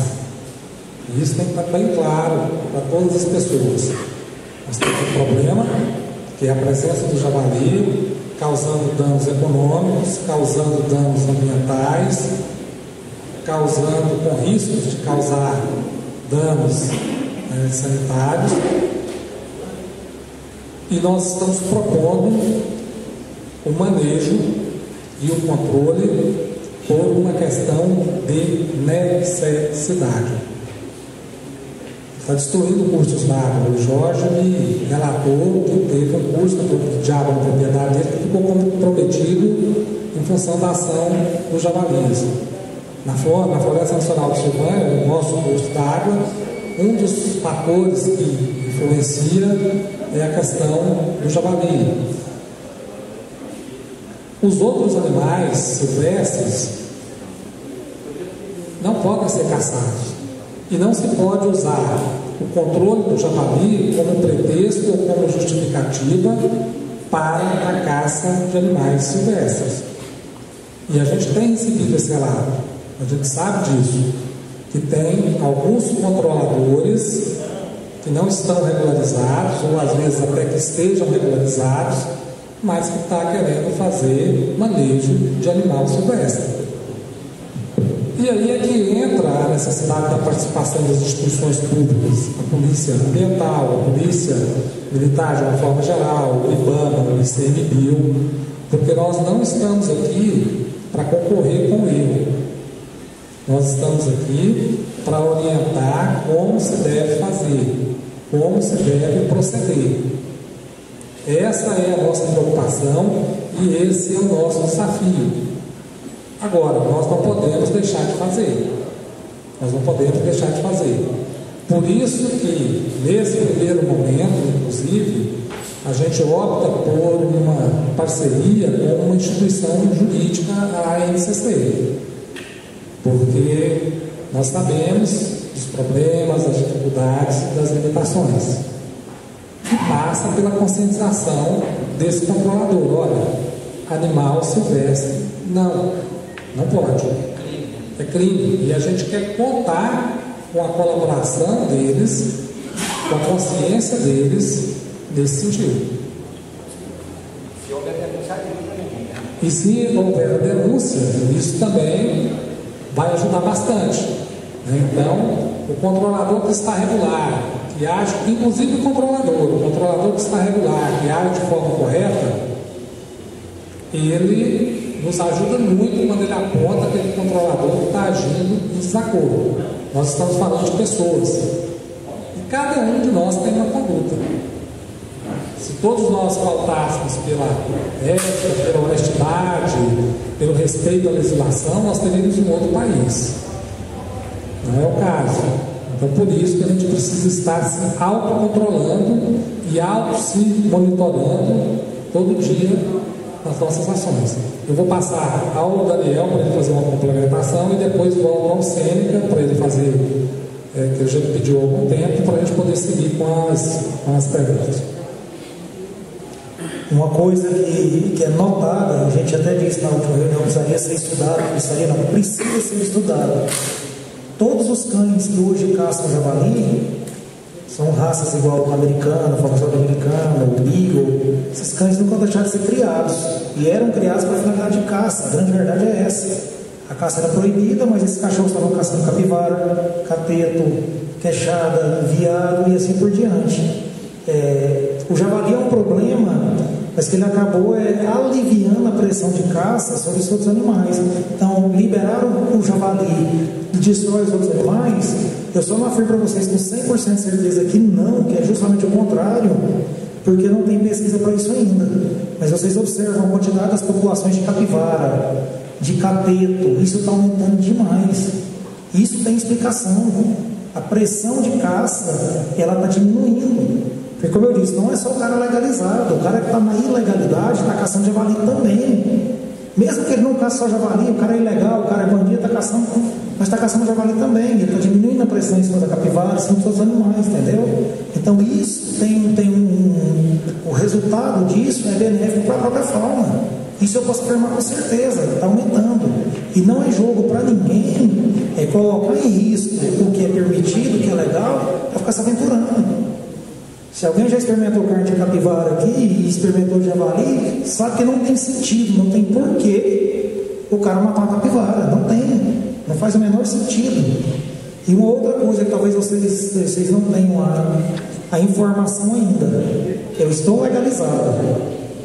Eu deixei de. A minha guia, minha guia ela vem com uma finalidade específica, guia de trânsito da arma, para controle da fauna exótica javali.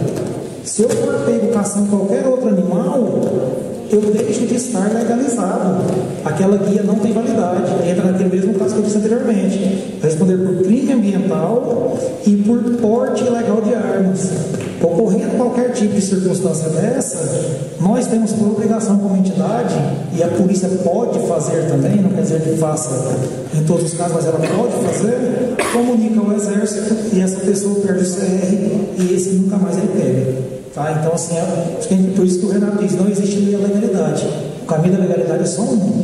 Se o cara se arriscar, ele, vai, ele corre o risco de cair e perder tudo que ele tem de, de legalidade e fazer aquilo dentro da lei. Gente, eu queria reforçar só um ponto que é o seguinte. Tudo isso que foi construído dessa proposta até agora, ela foi construída de que maneira? De acordo com a expertise de cada instituição dessa que foi convidada, que está aqui, tem outras que não estão aqui, que também estão participando do processo, de acordo com o estudo, a pesquisa e a observação de, de, de todas essas instituições. No entanto, proprietários e caçadores são extremamente bem-vindos no sentido de propor o que está dentro da legalidade. O que foi construído aqui até agora está dentro do rigor da lei. Mas, por exemplo, eu vejo grupo de caçadores aqui, ó. Possa, pode fazer as propostas. Se vocês acharem que vem melhorar a proposta que está sendo apresentada e estiver dentro da lei, é muito bem-vindo. E da mesma, da mesma forma os proprietários. Porque nós que estamos aqui, eu fico dos dois lados. Eu sou gestor público e sou proprietário rural. Nós que estamos aqui dentro das propriedades rurais, dormimos lá, amanhecemos lá, observamos lá no dia a dia o que é está acontecendo. Então, se vocês sempre tenham isso em mente, vocês estão sendo convidados a ajudarem a construir isso aqui. Então, o que vocês entenderem de propor, que acha que pode ajudar, às vezes até a pessoa pode não saber, ó, isso aí é proibido por lei. Eu não sou obrigado a saber, alguém que for propor, mas eu vou propor o que eu quero ouvir. É extremamente bem-vindo. O que nós estamos aqui na prática fazendo é apresentando a vocês até onde nós já pensamos, mas ansiosos que vocês também contribuam com o processo. É como eu disse no começo, é a única questão ambiental que eu conheço no Brasil que o produtor está sendo convidado a colaborar, porque o resto nem é de cima e se cumprir, cumpriu, se não cumprir a cadeia. Então agora é a hora de nós irmos enriquecendo isso aqui. Nós já tivemos duas reuniões dessa aberta, né, Renato? E provavelmente vamos ter outras. Vai aparando um defeitinho aqui, um defeitinho ali, uma proposta nova. Então vocês tenham sempre isso em mente. Vocês estão com toda a liberdade de propor, de discutir com a mesa, com o grupo. E se tiver dentro do rigor da lei e nós entendermos que isso vai ser benéfico de todos, nós vamos implementar o que vocês propõem aí em algum momento. Renato? Porque isso aqui não é receita de boa pronta, não. Vocês estão convidados a. Sempre quero lembrar isso. No início você abordou aí 100 quilos de transporte por pessoa. Eu acho essa cota muito pequena, porém a média de peso hoje do javali nossa região é de 12 a Lá em casa foi capturado um, até mandei a foto para você. Aquele javali tem um 14 arroz. Ele é maior do que o Francisco, em pé. Agora vocês imaginam o tamanho do animal desse. E a segunda coisa é a questão da ossada. Se orientar bem, que essa ossada no pasto, o animal dele vai trazer prejuízo para o gado. É o condutor de raiva, fitose, brucelose. Então esse seria um destino bem organizado. E a terceira coisa seria orientar os produtores rurais para que não criem porco solto. Eu já falei isso com você uma vez. Eu tinha um vizinho lá que tinha 20 animais, 20 porcos soltos. 20 porcas dessa cruzando com o javali, pariu é 100 animais. Então tem que ter uma orientação, uma divulgação em rádio, para abordar esse assunto. Gente, porco, chiqueiro. Pelo menos até passar essa fase aí do, do, javali. E a quarta questão seria a, a questão de armas. Eu também já fui militar, já lidei muito com arma, passei aquele vídeo para você. Vou falar um negócio. Aonde tem arma, a probabilidade, o capitão falou, de ter crime é grande. E a probabilidade, a probabilidade de ter acidente nos próprios colegas atiradores é muito grande. Então tem que ter uma orientação bem esclarecida. Se possível, até um treinamento com armas. Arma é perigo constante.